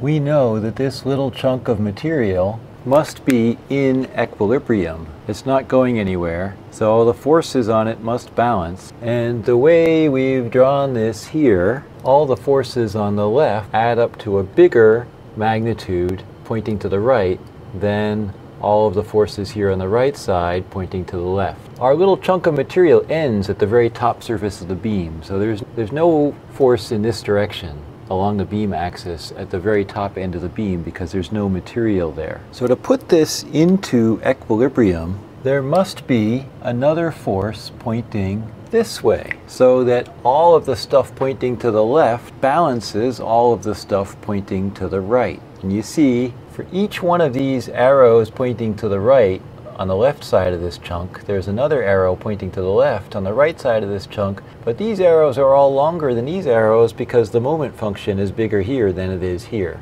Each one of these little arrows is proportional to this moment function times the height above the neutral surface. So if we didn't have this blue arrow pointing to the left, then this little chunk of beam would be out of equilibrium because we would have a net force pointing to the right. So that would not make sense. So to make all the forces add up to zero, there must be a force pointing to the left exerted by the material down below, just below this little hypothetical piece of the beam that we've, in our mind's eye, partitioned off. So that is the shear force or shear stress. If you want to make it a force per unit area, it's a stress corresponding to the forces between parallel fibers of the beam. If we again imagine the beam to be a whole bunch of little like fibers of a piece of wood running parallel. Even though most materials don't take that form, I think it's still a useful metaphor. So there has to be some shear force or shear stress like the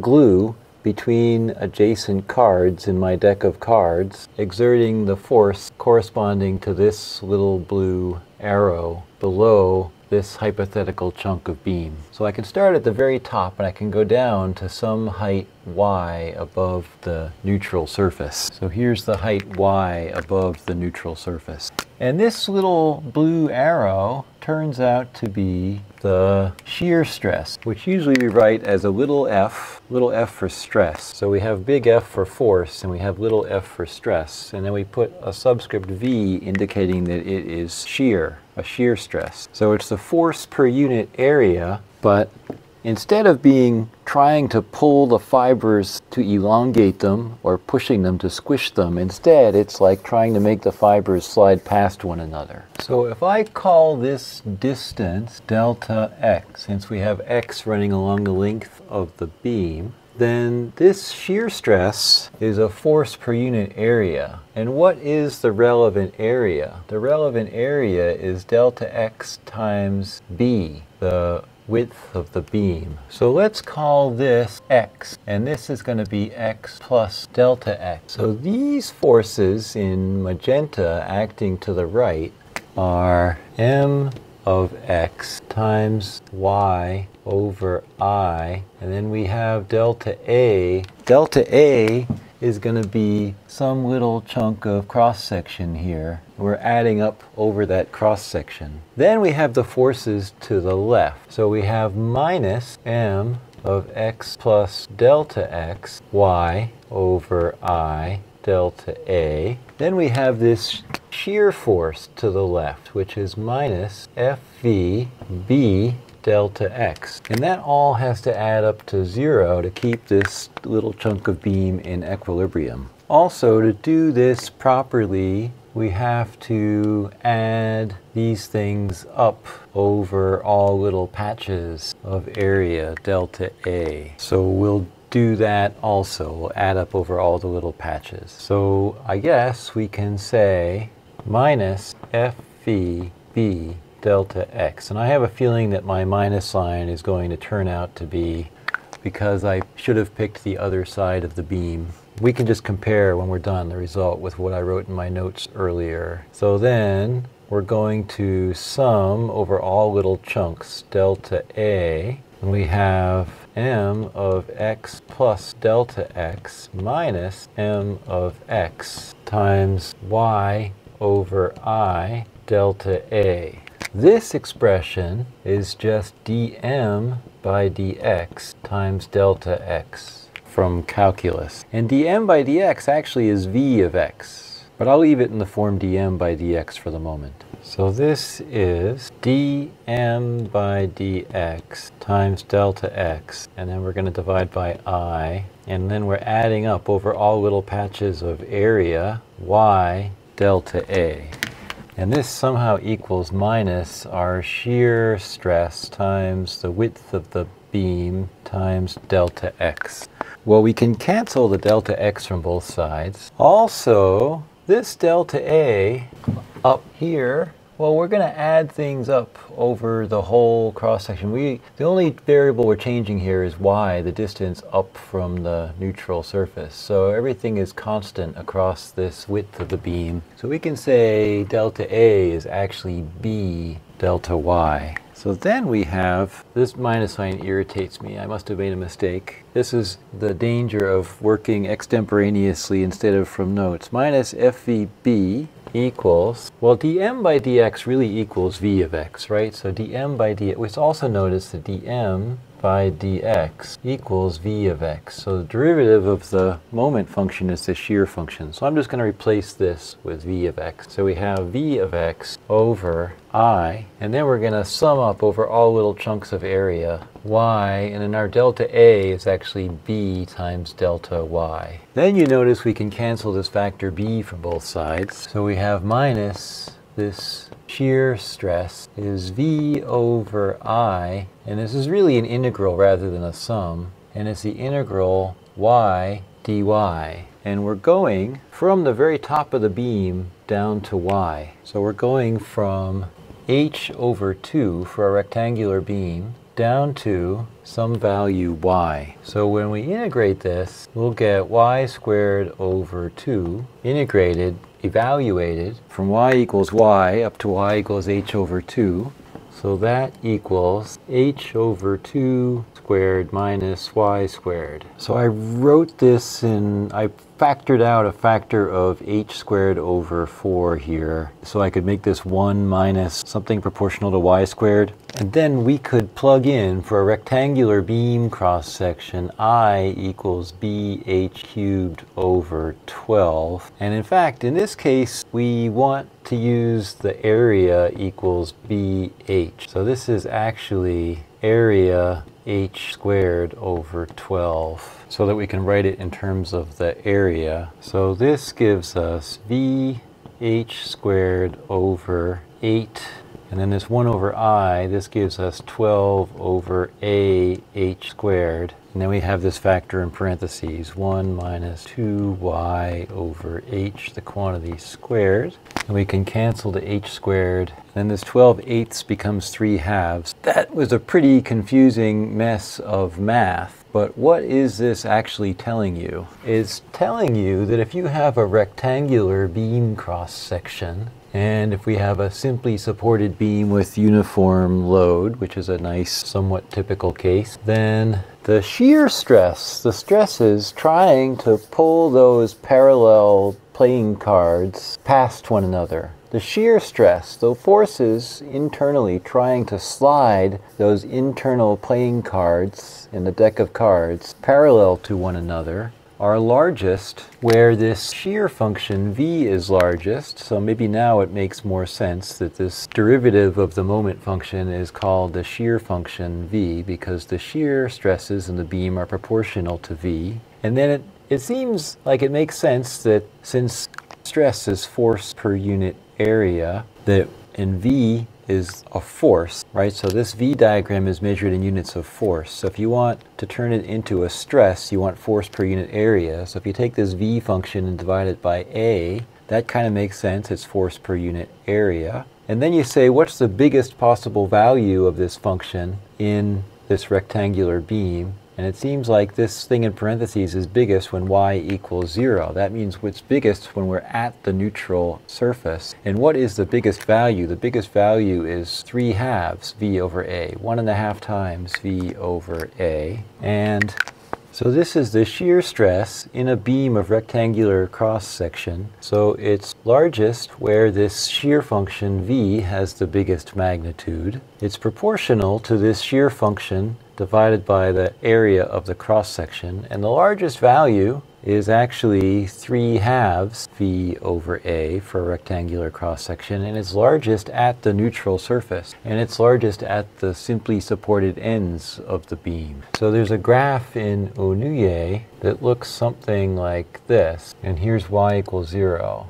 and all of this math I just wrote on the board is basically the outcome of my looking at that drawing in Onouye and trying to understand why it has the shape that it has. And I then asked Richard Farley and he gave a nice intuitive explanation and then I turned his nice intuitive explanation into all of this math. You would probably prefer his intuitive explanation. So we're going to notice on the next slide that for most load and support conditions, the bending moment varies as a function of x, the length along the beam, and the bending stress, in other words, the the axial stress in the fibers is proportional to this bending moment. We know that. It's the bending moment times the height above the neutral axis divided by the second moment of area. The shear stress exerted between parallel fibers along the bottom edge of the red rectangle, well in this case I drew it as an orange rectangle, must make up the difference between the left and the right total bending forces. So this has to make up the difference between all this and all this. The left and right total bending forces depend on how much area we add up in drawing the orange rectangle. Okay, you can kind of see that. So how far down we go. And in fact, you see, actually this kind of makes it clear. So at the very top, you're only adding up a little bit of these left and right arrows. So this blue arrow,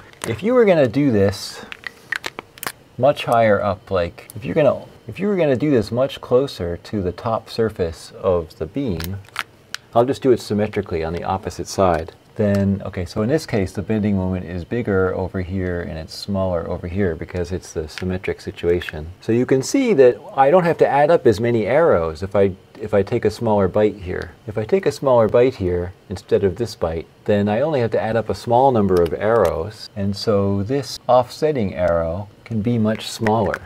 But as I increase the size of the bite that I take here, then I would have to add up more and more and more little arrows. So then this offsetting shear force or shear stress has to be bigger. Then by the time I go on the opposite side of the neutral surface, now I'm starting to add bending forces, axial forces in the opposite direction because I go from being in compression to being in tension. So then you get these little magenta arrows in the opposite direction. And so then they start to subtract from what we added up above. So the total that you get going from the top surface of the beam is stopping at some depth as you take out your imaginary chunk of the beam. That total adds up to the biggest total when we are right at the neutral surface. So these shear stresses are actually biggest at the neutral surface. And how big they are is proportional to this shear function V. And this shear function V is telling you how does the bending moment change from one side of this chunk to the other. And you know all of these little axial stresses are proportional to this bending moment times how high we are up above the neutral surface.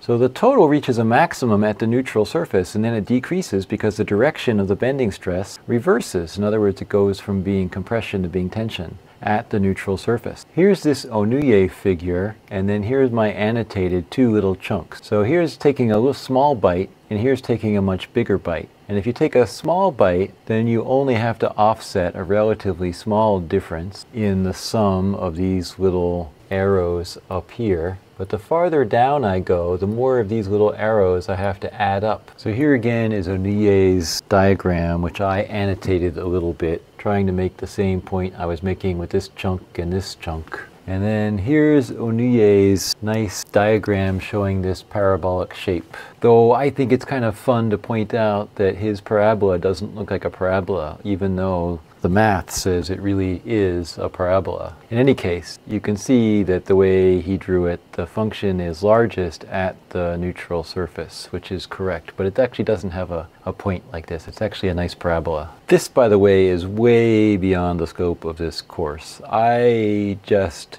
worked it out because I thought it was fun to work it out because I saw it in the book and I wanted to understand it. I have a mathy description written up in the equation sheet. And I think we should find a way to splice in here Professor Farley's really colorful description of the same phenomenon using his diagram of a beam with a whole bunch of people's heads side by side and figuring out where they want to be in the beam. That was all extremely abstract. Let's go back to something much more concrete, like drawing shear and moment diagrams. I'm going to pretend these units are metric because I really dislike US customary units. So we have to solve for the vertical support forces at this position that Onouye calls B and at this other position that let's just call R for the right hand side. So this will be BY and this will be ry and I'll put the little slash through them the way he does and to work out the work out the support forces we initially replace the distributed loads with equivalent in other words, equivalent for the purposes of static equilibrium, equivalent concentrated loads. This is 2 kilonewtons per meter times 10 meters equals 20 kilonewtons. And then this is 10 kilonewtons. So this distance is 10 meters. And then this distance is 15 meters. And this distance is 5 meters. Let's solve for By by pivoting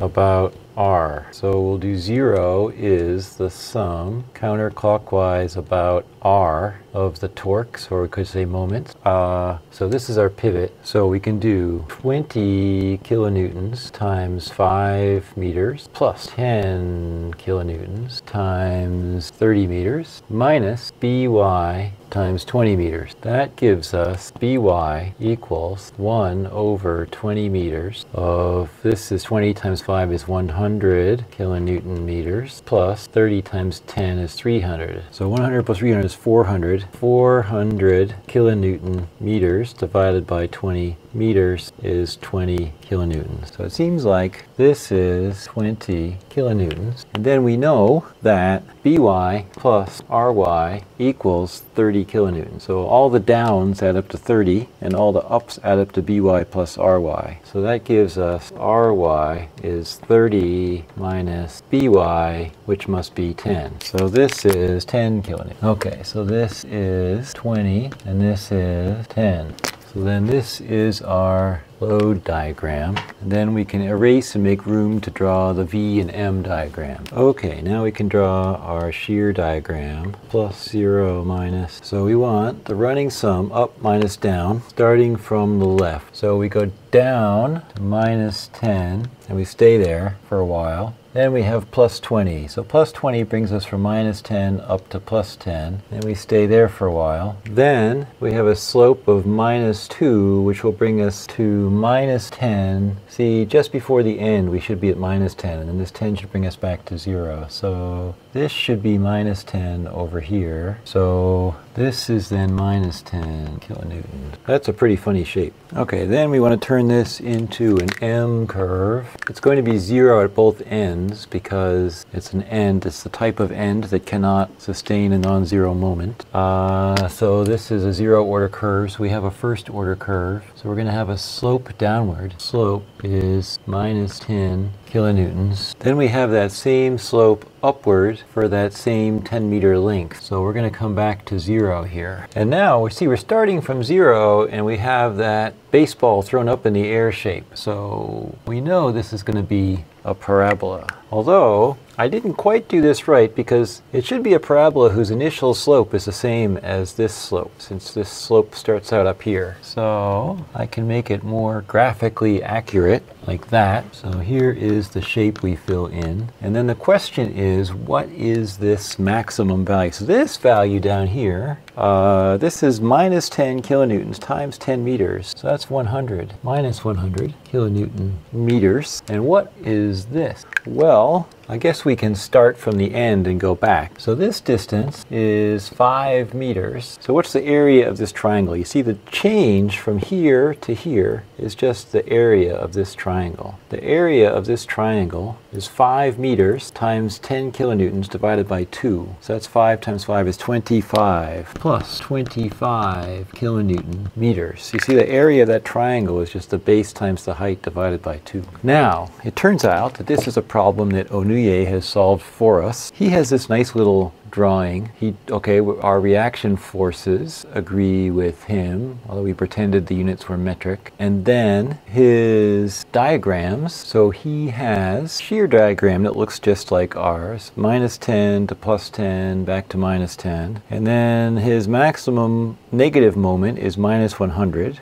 which agrees with us, and his maximum positive moment is plus 25, which agrees with us. So I think we're getting pretty good at this. Okay, so here's another Onouye shear and moment diagram problem. So let's start out by solving for the support forces. So we have AY over here, we have CY over here, and 2 kilonewtons per meter times 10 meters, I'm pretending the units are metric units, is 20 kilonewtons. And we'll put that, since it's flat, we'll put it at the centroid. So there is 20 kilonewtons, and this distance is 5 meters, and this distance is 15 meters. So let's, let's pivot about out A to find CY. So we'll pivot here. So 0 is the sum about Of the torques, also known as moments. Uh, so we have CY times 20 meters minus 20 kilonewtons times 5 meters equals 0. That gives us Cy equals 5 kilonewtons because we have 20 times 5 divided by 20, which is 5. So this equals 5 kilonewtons, and then they must add up to 20, so this is 15 kilonewtons. You see, our sum of forces in X equation would give us AY plus CY minus 20 kilonewtons equals 0. So the two support forces have to add up to 20. We know one of them is 5, so the other one must be 15. This also makes sense because if you look in the middle, no, not, not if you look in the middle, uh, you take this load, so this support is three times as far away as this one. So to balance about this force, this will be three times larger with one third the lever arm. This will be one third as big with three times the lever arm. So that makes sense, that it's a three to one ratio. And the one that's farther away is smaller. Okay, so now we can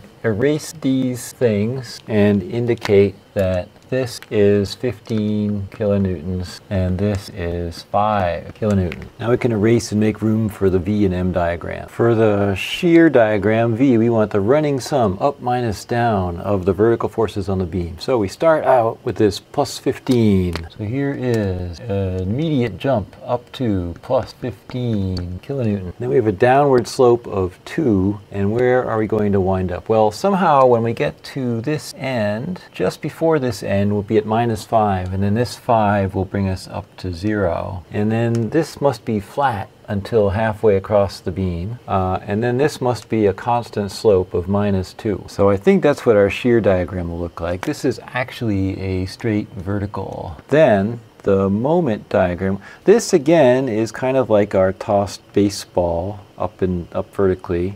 So I think, and okay, and it should reach, ah, where does this reach zero? 15 minus 2 times 7.5 is zero. So this crosses zero at 7.5 meters, right? Because 15 minus 2 times 7.5 is zero. So I think we go like this parabolically up to seven and a half. And then we continue on the downward part of that parabola until we reach 10. And then now we just slope down with a constant slope. So this is a slope is minus five kilonewtons. So this is our shape. So it's kind of three quarters of a parabola or I don't know, maybe 60% of a parabola and then there's a downward slope. And what is this m max equals? Uh, this must be, ah, right. See, this is seven and a half. What's the area of this triangle? The area of this triangle is one half times the base times the height of the triangle. So that is one half times 15 kilonewtons times 7.5 meter, which is, believe it or not, 56.25. So I think that's the answer. Let's see. Well, we have Onouye's drawing. So he gets he gets a support force of 15 on the left and 5 on the right that makes sense. And then his drawings have that same shape. You go up to plus 15 and then you slope down to minus 5. And then his peak value is also 56.25. It's just that he uses imperial units and I preferred to pretend that this was specified in metric units. Neat! We did it. We're getting good at this. Okay, the next few slides contain beam design examples of the sort you might see in a structures course. Example, using metric units. A cantilever beam has a span of 3 meters with a single concentrated load of 100 kilograms at its unsupported end. If the beam is made of timber having allowable bending stress 1.1 times 10 to the 7th newtons per square meter, which by the way was, ah, that was originally 1600 pounds per square inch in US customary units, what minimum section modulus is required? Oh my goodness. Then what is the smallest 2 by dimensional lumber width of one and a half inches, which is 0.038 meters, that's 3.8 centimeters, whose cross section satisfies this strength criterion. Well, that could be interesting. Oh, would this beam also satisfy a maximum deflection L over 240 stiffness criterion? If not, what standard 2 by cross section is needed instead?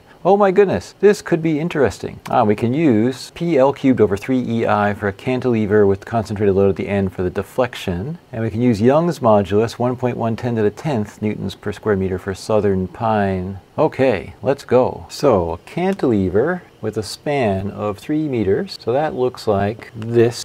Then we have the shear diagram looks like this 100 kilograms means a force M equals 100 kilograms. So that means P, which is mg, is 980 newtons. So this is 980 newtons. Then we have the M diagram, and it has to come back. It's negative, and it has to come back to zero at the end. So it must look like this. It's a first order curve, because this is a zeroth order curve. And we have 980 newtons times times 3 meters is, I'm going to say this is approximately a 1,000 newtons. This is 3 kilonewton meters. So we're going to say 1 kilonewton because that's a lot simpler. Then this is minus 3 kilonewton meters. Okay, so that tells us M max in absolute value is 3 kilonewton meters. And we have an earlier result for axial stress. F, axial, I think it's often B for bending, is the bending moment times the height above the neutral surface divided by the second moment of area. And it turns out there's this thing called section modulus. This is pretty obscure. Section modulus, S, is the second moment of area divided by the maximum height above the neutral surface, which basically is just half the height of the beam if it's a rectangular beam or an otherwise symmetric beam. So this anyway is M over S, because this will be the maximum M and the maximum Y, and this is the maximum Y. So that tells us that the section modulus has to be bigger than or equal to the bending moment max divided by the allowable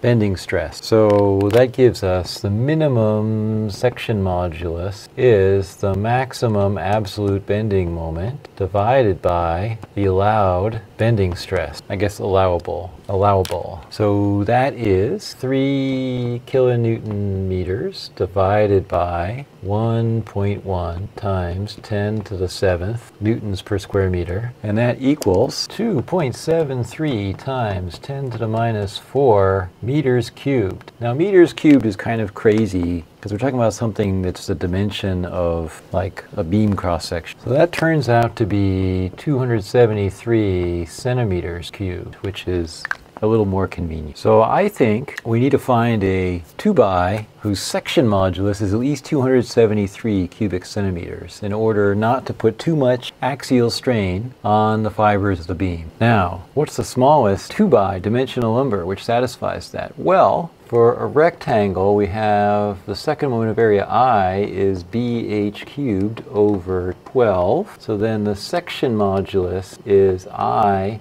over y max, which is bh cubed over 12 divided by h over 2, which is bh squared over 6. Okay, so we have, uh, for a rectangular beam, so we don't need these anymore. For a rectangular beam cross section, the section modulus is bh squared over 6. So that's this second moment of area divided by half the height. Uh, so we actually have a table, we can look this up, but we have B equals 3.8 centimeters, and we need S is bigger than 273 cubic centimeters. So that tells us we need H is bigger than, so if we say we need the section modulus bigger than 273 cubic centimeters, we could just solve for the height we need, and that would give us about 21 centimeters, which is about eight and a quarter inches. So a two by eight is seven and a half inches tall. So we would need a 2 by 10 was 9.5 inches tall for our next size up of dimensional lumber. So a 2 by 8 would be not efficient. So I guess we'd need a 2 by 10. And I have all these in a table in a moment. So over here I have a table and you see if we need 273 cubic centimeters, well you see a 2 by 8 is too small. A 2 by 10 is easily big enough for that section modulus. So we have 230 cubic centimeters for a 2 by 8. That's not big enough. 370 for a 2 by 10 is big enough for this criterion. This is a strength criterion. There are going to be other, there's also going to be a stiffness criterion. Okay, I re-summarized that up here. So for the bending stress criterion, we need a section modulus bigger than 273 cubic centimeters, which implies we need a beam depth at least 21 centimeters, which is about 8 and a quarter inches. So that implies we need 2 by 10 dimensional lumber. A 2 by 8 will not suffice. Then,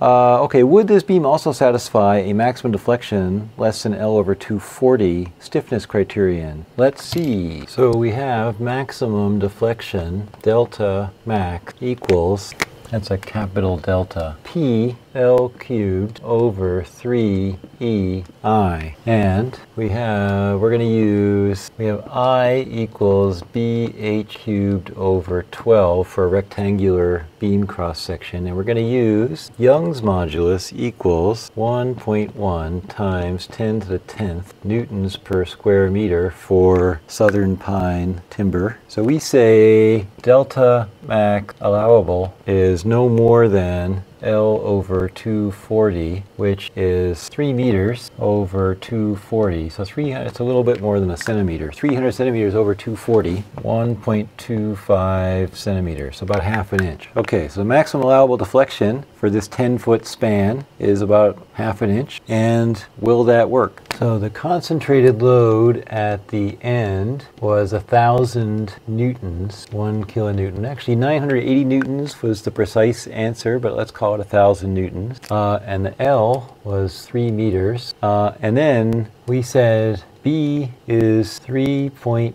8 centimeters and H is 9.5 inches times 2.54 centimeters per inch equals, this is if we choose a 2 by 10 for dimensional lumber, that's 24.13 centimeters. So this would give us I equals BH cubed over 12 equals 4449 centimeters to the fourth power, which is 4.45 times 10 to the minus fifth meters to the fourth power. So you see meters are, are kind of an outrageous unit to use for the transverse dimensions of a beam. So if we plug in numbers, that's 0.0184 meters equals 1.84 centimeters. So that's not good enough because the criterion was it can't deflect more than one and a quarter centimeters. This will deflect a little under two centimeters, 1.84 centimeters. So we actually, Professor Farley tells us that normally the stiffness criterion is the most stringent, more stringent than the strength criterion. That bears out to be true in this case. So let's see what happens if instead we use a 2 by 12. So this was 2 by 10 dimensional lumber. So if we use a 2 by 12 dimensional lumber, then that means we have 11, 11.5 inches times 2.54 centimeters per inch. So its depth is 29.2 centimeters. So we'll say, okay, let's plug in, let's instead plug in so we'll not do this. Instead, we'll plug in H is 29.2 centimeters for a 2 by 12. And that gives us, so that gives us 7884 centimeters to the fourth power which is 7.88 times 10 to the minus fifth meters to the fourth power. It seems a bit outrageous. Always looks a bit odd in meters. So then we can recalculate this. So we won't use this. We will instead use this updated version of the second moment of area. Okay, and we get 1.04 centimeters, which is just fine. I mean, it's actually 0.0104 meters, but I put it into centimeters. 1.04 centimeters. So that's kind of interesting we increased the beam cross section from a 2 by 10 to a 2 by 12 and that little increase of about 20% in height got us almost a factor of 2 in reduced deflection. Cool. Okay, so it seems like the for the strength criterion, a 2 by 10 dimensional lumber would have been sufficient. But then when we also evaluated the stiffness criterion, it turned out that wasn't good enough. We had to use a 2 by 12 dimensional lumber. And this was for a 3 meters, that's about 10 foot span with a 100 kilogram load in the middle. So here is the solution I previously wrote up. I think that looks just like the diagrams we drew earlier, although I think I might have drawn the cantilever mirrored here. So I made the free end at the left. I think on the board here just a moment ago I made the free end on the right. And okay, so I think I used 980 instead of 1000, so I said 26.7 instead of 27.3 times 10 to the minus fifth meters cubed for the section deflection modulus. Anyway, that's basically the same. And then we had an allowed deflection of one and a quarter centimeters. And ah, so this deflection criterion implies that we need a second moment of area of at least 6420 centimeters to the fourth. And then we can look at our table and uh, 2 by 12s have 7913 Okay, I, I just now worked out 7884, maybe 7913 uses more precise values. So the 2 by 10 would have been 4461. That's not good enough. The 2 by 12 is 7913, which is certainly good enough. And then for the section modulus, the, the bending stress criterion, We needed 273, so a 2 by 8 would not have been sufficient. That's 230, but a 2 by 10 is more than sufficient for the bending stress criterion because that would be 370. So you see, normally they're just pre-calculated tables. I think I calculated this table though. Right, using, you see, one and a half inches by three and a half, five and a half, seven and a half, nine and a half, or 11 and a half inches. Okay, then, in a moment, we'll move on to a minor variation on this same problem.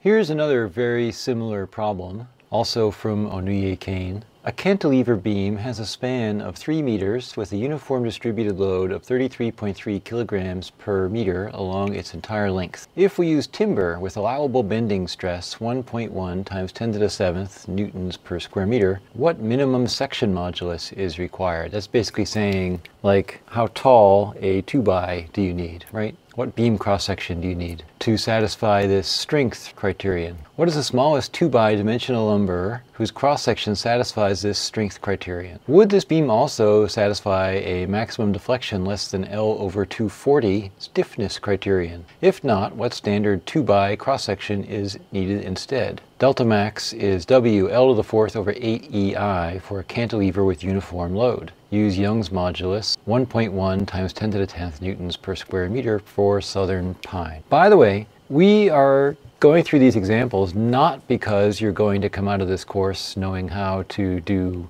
beam design. You don't you have to take a real structures course to learn something like that. Rather, we're going through these examples to illustrate the point that having studied forces and torque and vectors and practiced these ideas and solved many problems with static equilibrium and solved many problems analyzing forces and torques leaves us with insight into real world phenomena. An example of a very down to earth real world phenomenon that we can now understand is what is the basic idea of the process that an architect or engineer goes through to figure out whether beams supporting the floor of your house are this tall or this tall or this tall. Or when you look at an I-beam, you understand now why it has that I shape. It's not for aesthetic reasons, it's for strength and stiffness reasons. We study these examples not because this course is intended to teach you these details, but rather that this course is using these real world applications to illustrate the power of your understanding now of forces and torques and vectors and how they connect with real life. So let's draw a cantilever beam. So here's a wall and here's a beam coming out from the wall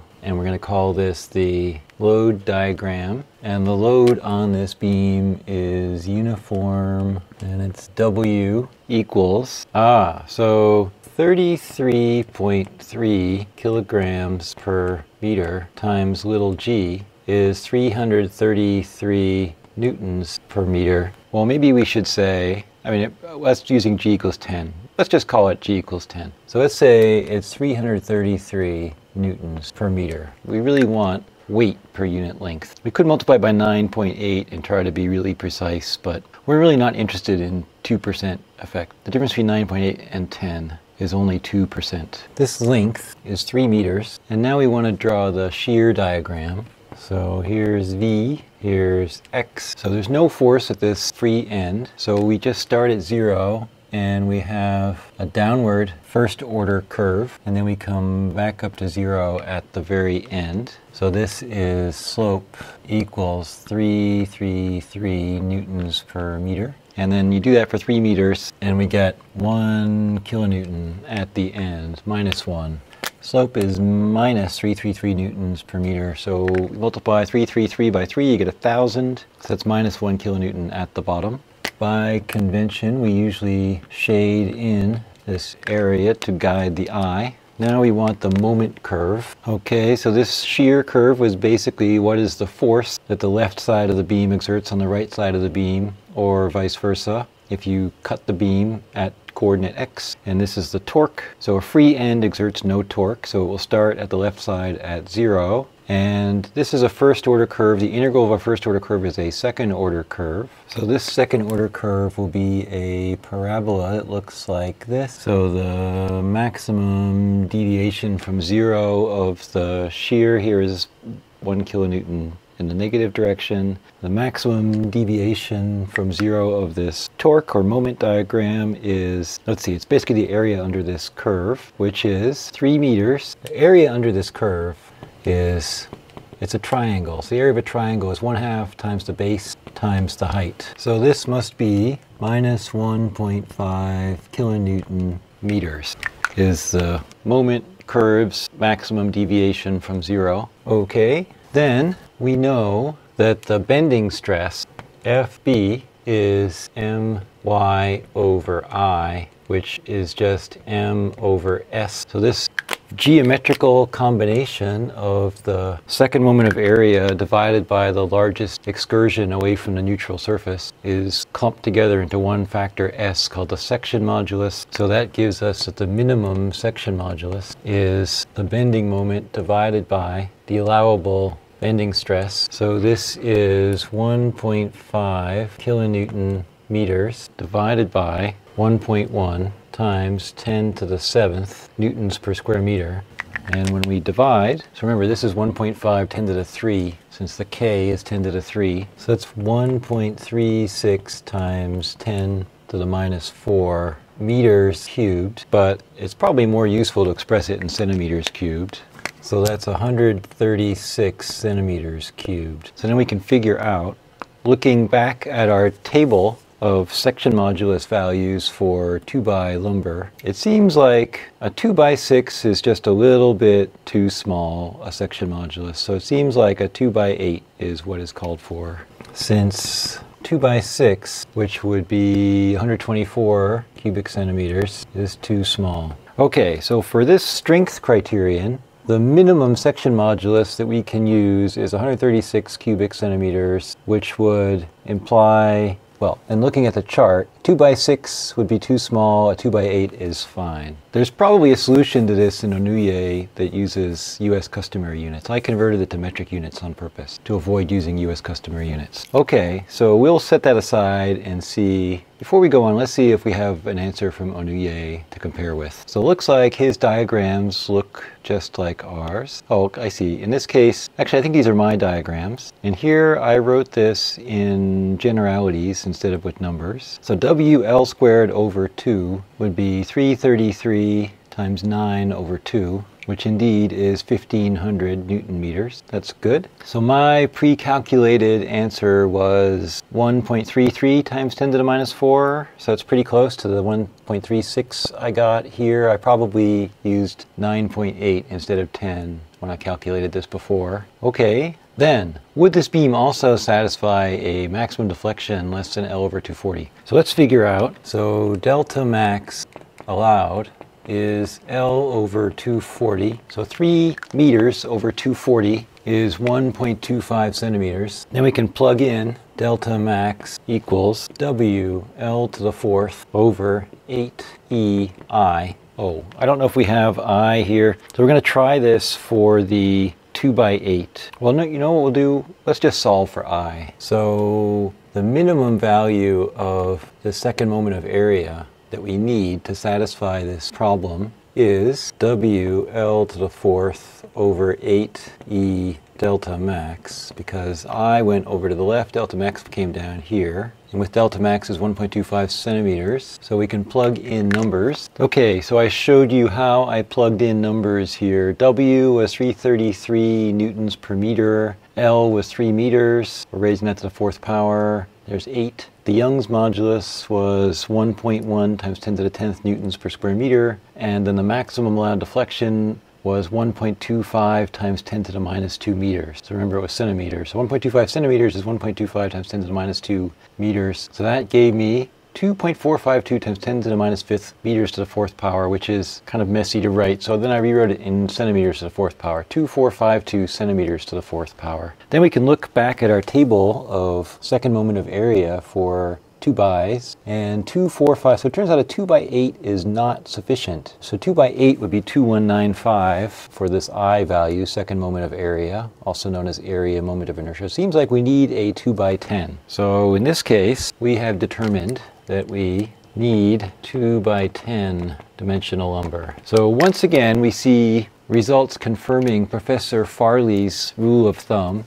that the stiffness criterion is usually the most stringent. In other words, if you design for the stiffness criterion, usually that will turn out to satisfy the strength criteria. Whereas if you go the other way around, then the stiffness criterion will require something more stringent than what the strength criteria required in most cases. So he tells me. So it seems like we decided that a 2 by 8 would be okay here, but this implies 2 by 10 needed. Okay, so for the deflection requirement, it turns out this load on this span implied a 2 by 10. And notice that it is a lot easier if you could just go to a table and look up the values instead of having to do a whole bunch of math. Here is an actual homework problem from Professor Farley's structures course. Size, a wood joist for a row house floor which spans 12 feet. So we have L equals 12 feet. Joists are spaced at 16 inches on center. Okay, so joist spacing equals 16 inches. So I'm going to call this JS. And he is telling us that the live load is 60 pounds per square foot. Whoa. And the dead load is 30 pounds per square foot. So the dead load plus the live load is 90 pounds per square foot. So we have a floor like this, and there is a load of 90 pounds per square foot on that area. So that's the force per unit area. And then if we and we have this spacing, I'm going to call it JS for the joist spacing. So if we multiply this, we have force per unit area times the joist spacing, and that's going to give us force per unit length along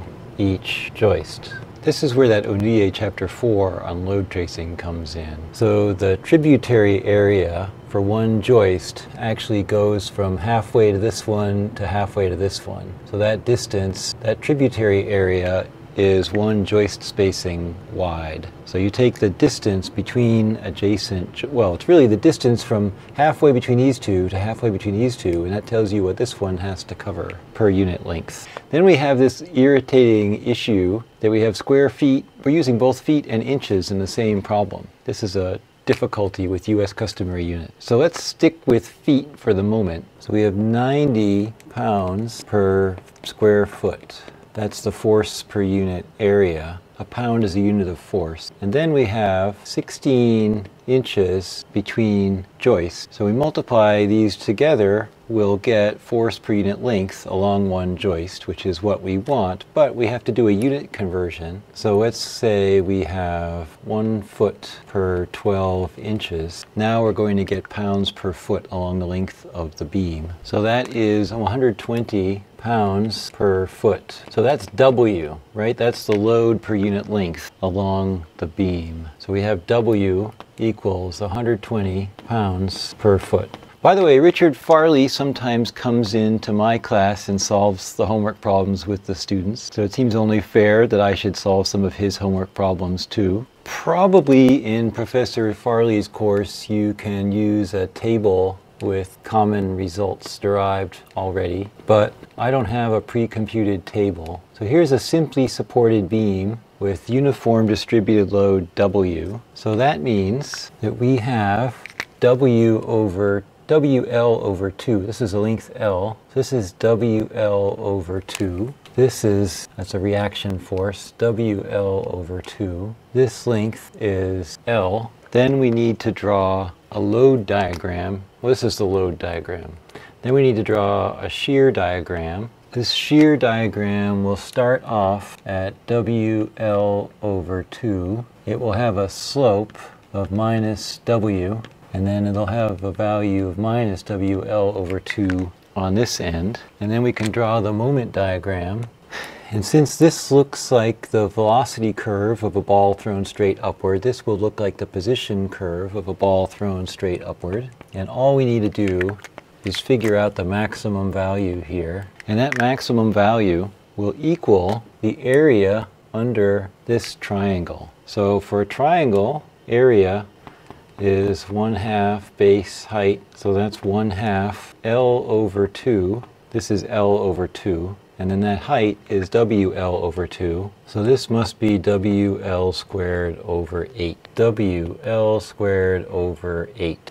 Okay, I don't think I've ever actually gone ahead and solved this problem before. I just showed it in class as an example without solving it. Using this, M max is WL squared over 8. I plug in 1 eighth of W is 120 pounds per foot. That's the force per unit length along the beam. A joist is a kind of beam. And then the length of the beam is 12 feet. Take that L and square it, and this gives us, working out the units, we get 2,160 foot-pounds. A foot-pound is a unit of torque in U.S. customary units. A foot-pound is also a unit of work or energy in U.S. customary units, it turns out. Just like the Newton meter is a measure both of torque and of energy in SI units, the foot-pound is a unit both of torque and of energy in U.S. customary units. Okay, I checked that this WL squared over 8 is indeed the accepted result for the maximum bending moment for a simply supported beam of length L with uniform load W. Then, looking at Professor Farley's inputs, I'm going to interpret this top value of lowercase f to mean the allowable the allowable bending stress is 1300 pounds per square inch, which is comparable to the value we used in metric units in the previous example. And then uh, I can't read the exponent in his Young's modulus, but it seems like it should be 1.7 times 10 to the sixth pounds per square inch. That is a sensible value for southern pine, for example. And I'm not sure what his other value of lowercase f is. I wonder if it is an allowable shear stress. I'm not sure. So the first thing to check is the maximum deflection. I think it should be L over 360. We'll have to ask him also whether the building code says L over 360 or L over 240. And then meanwhile, this is a simply supported beam with uniform distributed load. So this is 5 over 384 WL to the fourth over E I. We worked that out with calculus. So we know the maximum deflection. I we, again, we have to ask Professor Farley about this. I think whether it's L over 360 or L over 240 might depend on whether or not it's supporting a plaster ceiling. So we know our delta max allowable value. So then we can just move this delta max down here move I over here so we can figure out what the minimum value of area moment of inertia second moment of area is. So this gives us the minimum I would be allowed is 5 over 384 W L to the fourth over E times the maximum allowed deflection. Now we can put in numbers. I'm going to plug in numbers here so that the required second moment of area comes out in inches to the fourth power. Our inputs have a mixture of feet and inches. This is another drawback of US customary units. So we have 5 over 384, which is just a number, and then 120 pounds per foot is the load, W, per unit length. So I'm going to multiply that by one foot per 12 inch. So the feet will cancel out and we'll be left with pounds per inch there. So 120 pounds per foot will end up being 10 pounds per inch. And then we have 12 feet for the length, and that's going to go to the fourth power. So 12 feet times 12 inches per foot will be 144 inches for the length. So then we'll get a number in inches to the fourth power. Let's now multiply that out. So multiplying the numbers out, I get that we need a second moment of area of at least 82 inches to the fourth power and then since my pre-calculated table has centimeters to the fourth power instead, I multiplied that by 2.54 to the fourth power and I get about 3,400 centimeters to the fourth power. Then we can go look at my table and it looks like if we want 3,400 centimeters to the fourth power, a 2 by 8 is not good enough, but a 2 by 10 is just fine. So I think the joist for this row house problem will turn out to be a 2 by 10. The next thing we can do is check the bending stress. So we have the bending stress is bending moment times height above the neutral surface divided by the second moment of area. And this geometrical factor is pulled out and called the section modulus of the cross section. So that gives us the minimum section modulus equals the largest bending moment divided by the allowable bending stress. So this we worked out to be 2160 foot-pounds. And then Professor Farley gave us that this was 1300 pounds per square inch. And if we want a result in inches, I guess we have to multiply this numerator by 12 inches per foot.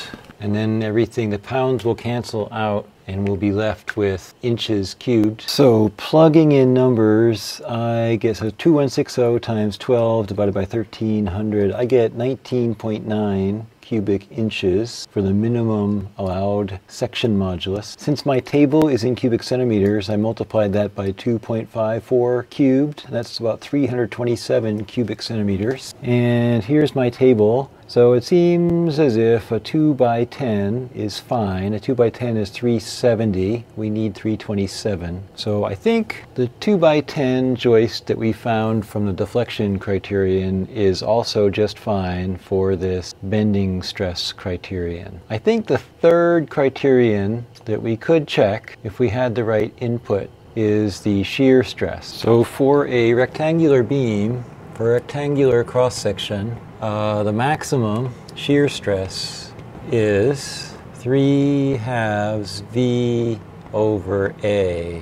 This is the area of the cross section. So this is 3 V max over 2, and this is the width times the height of the cross section.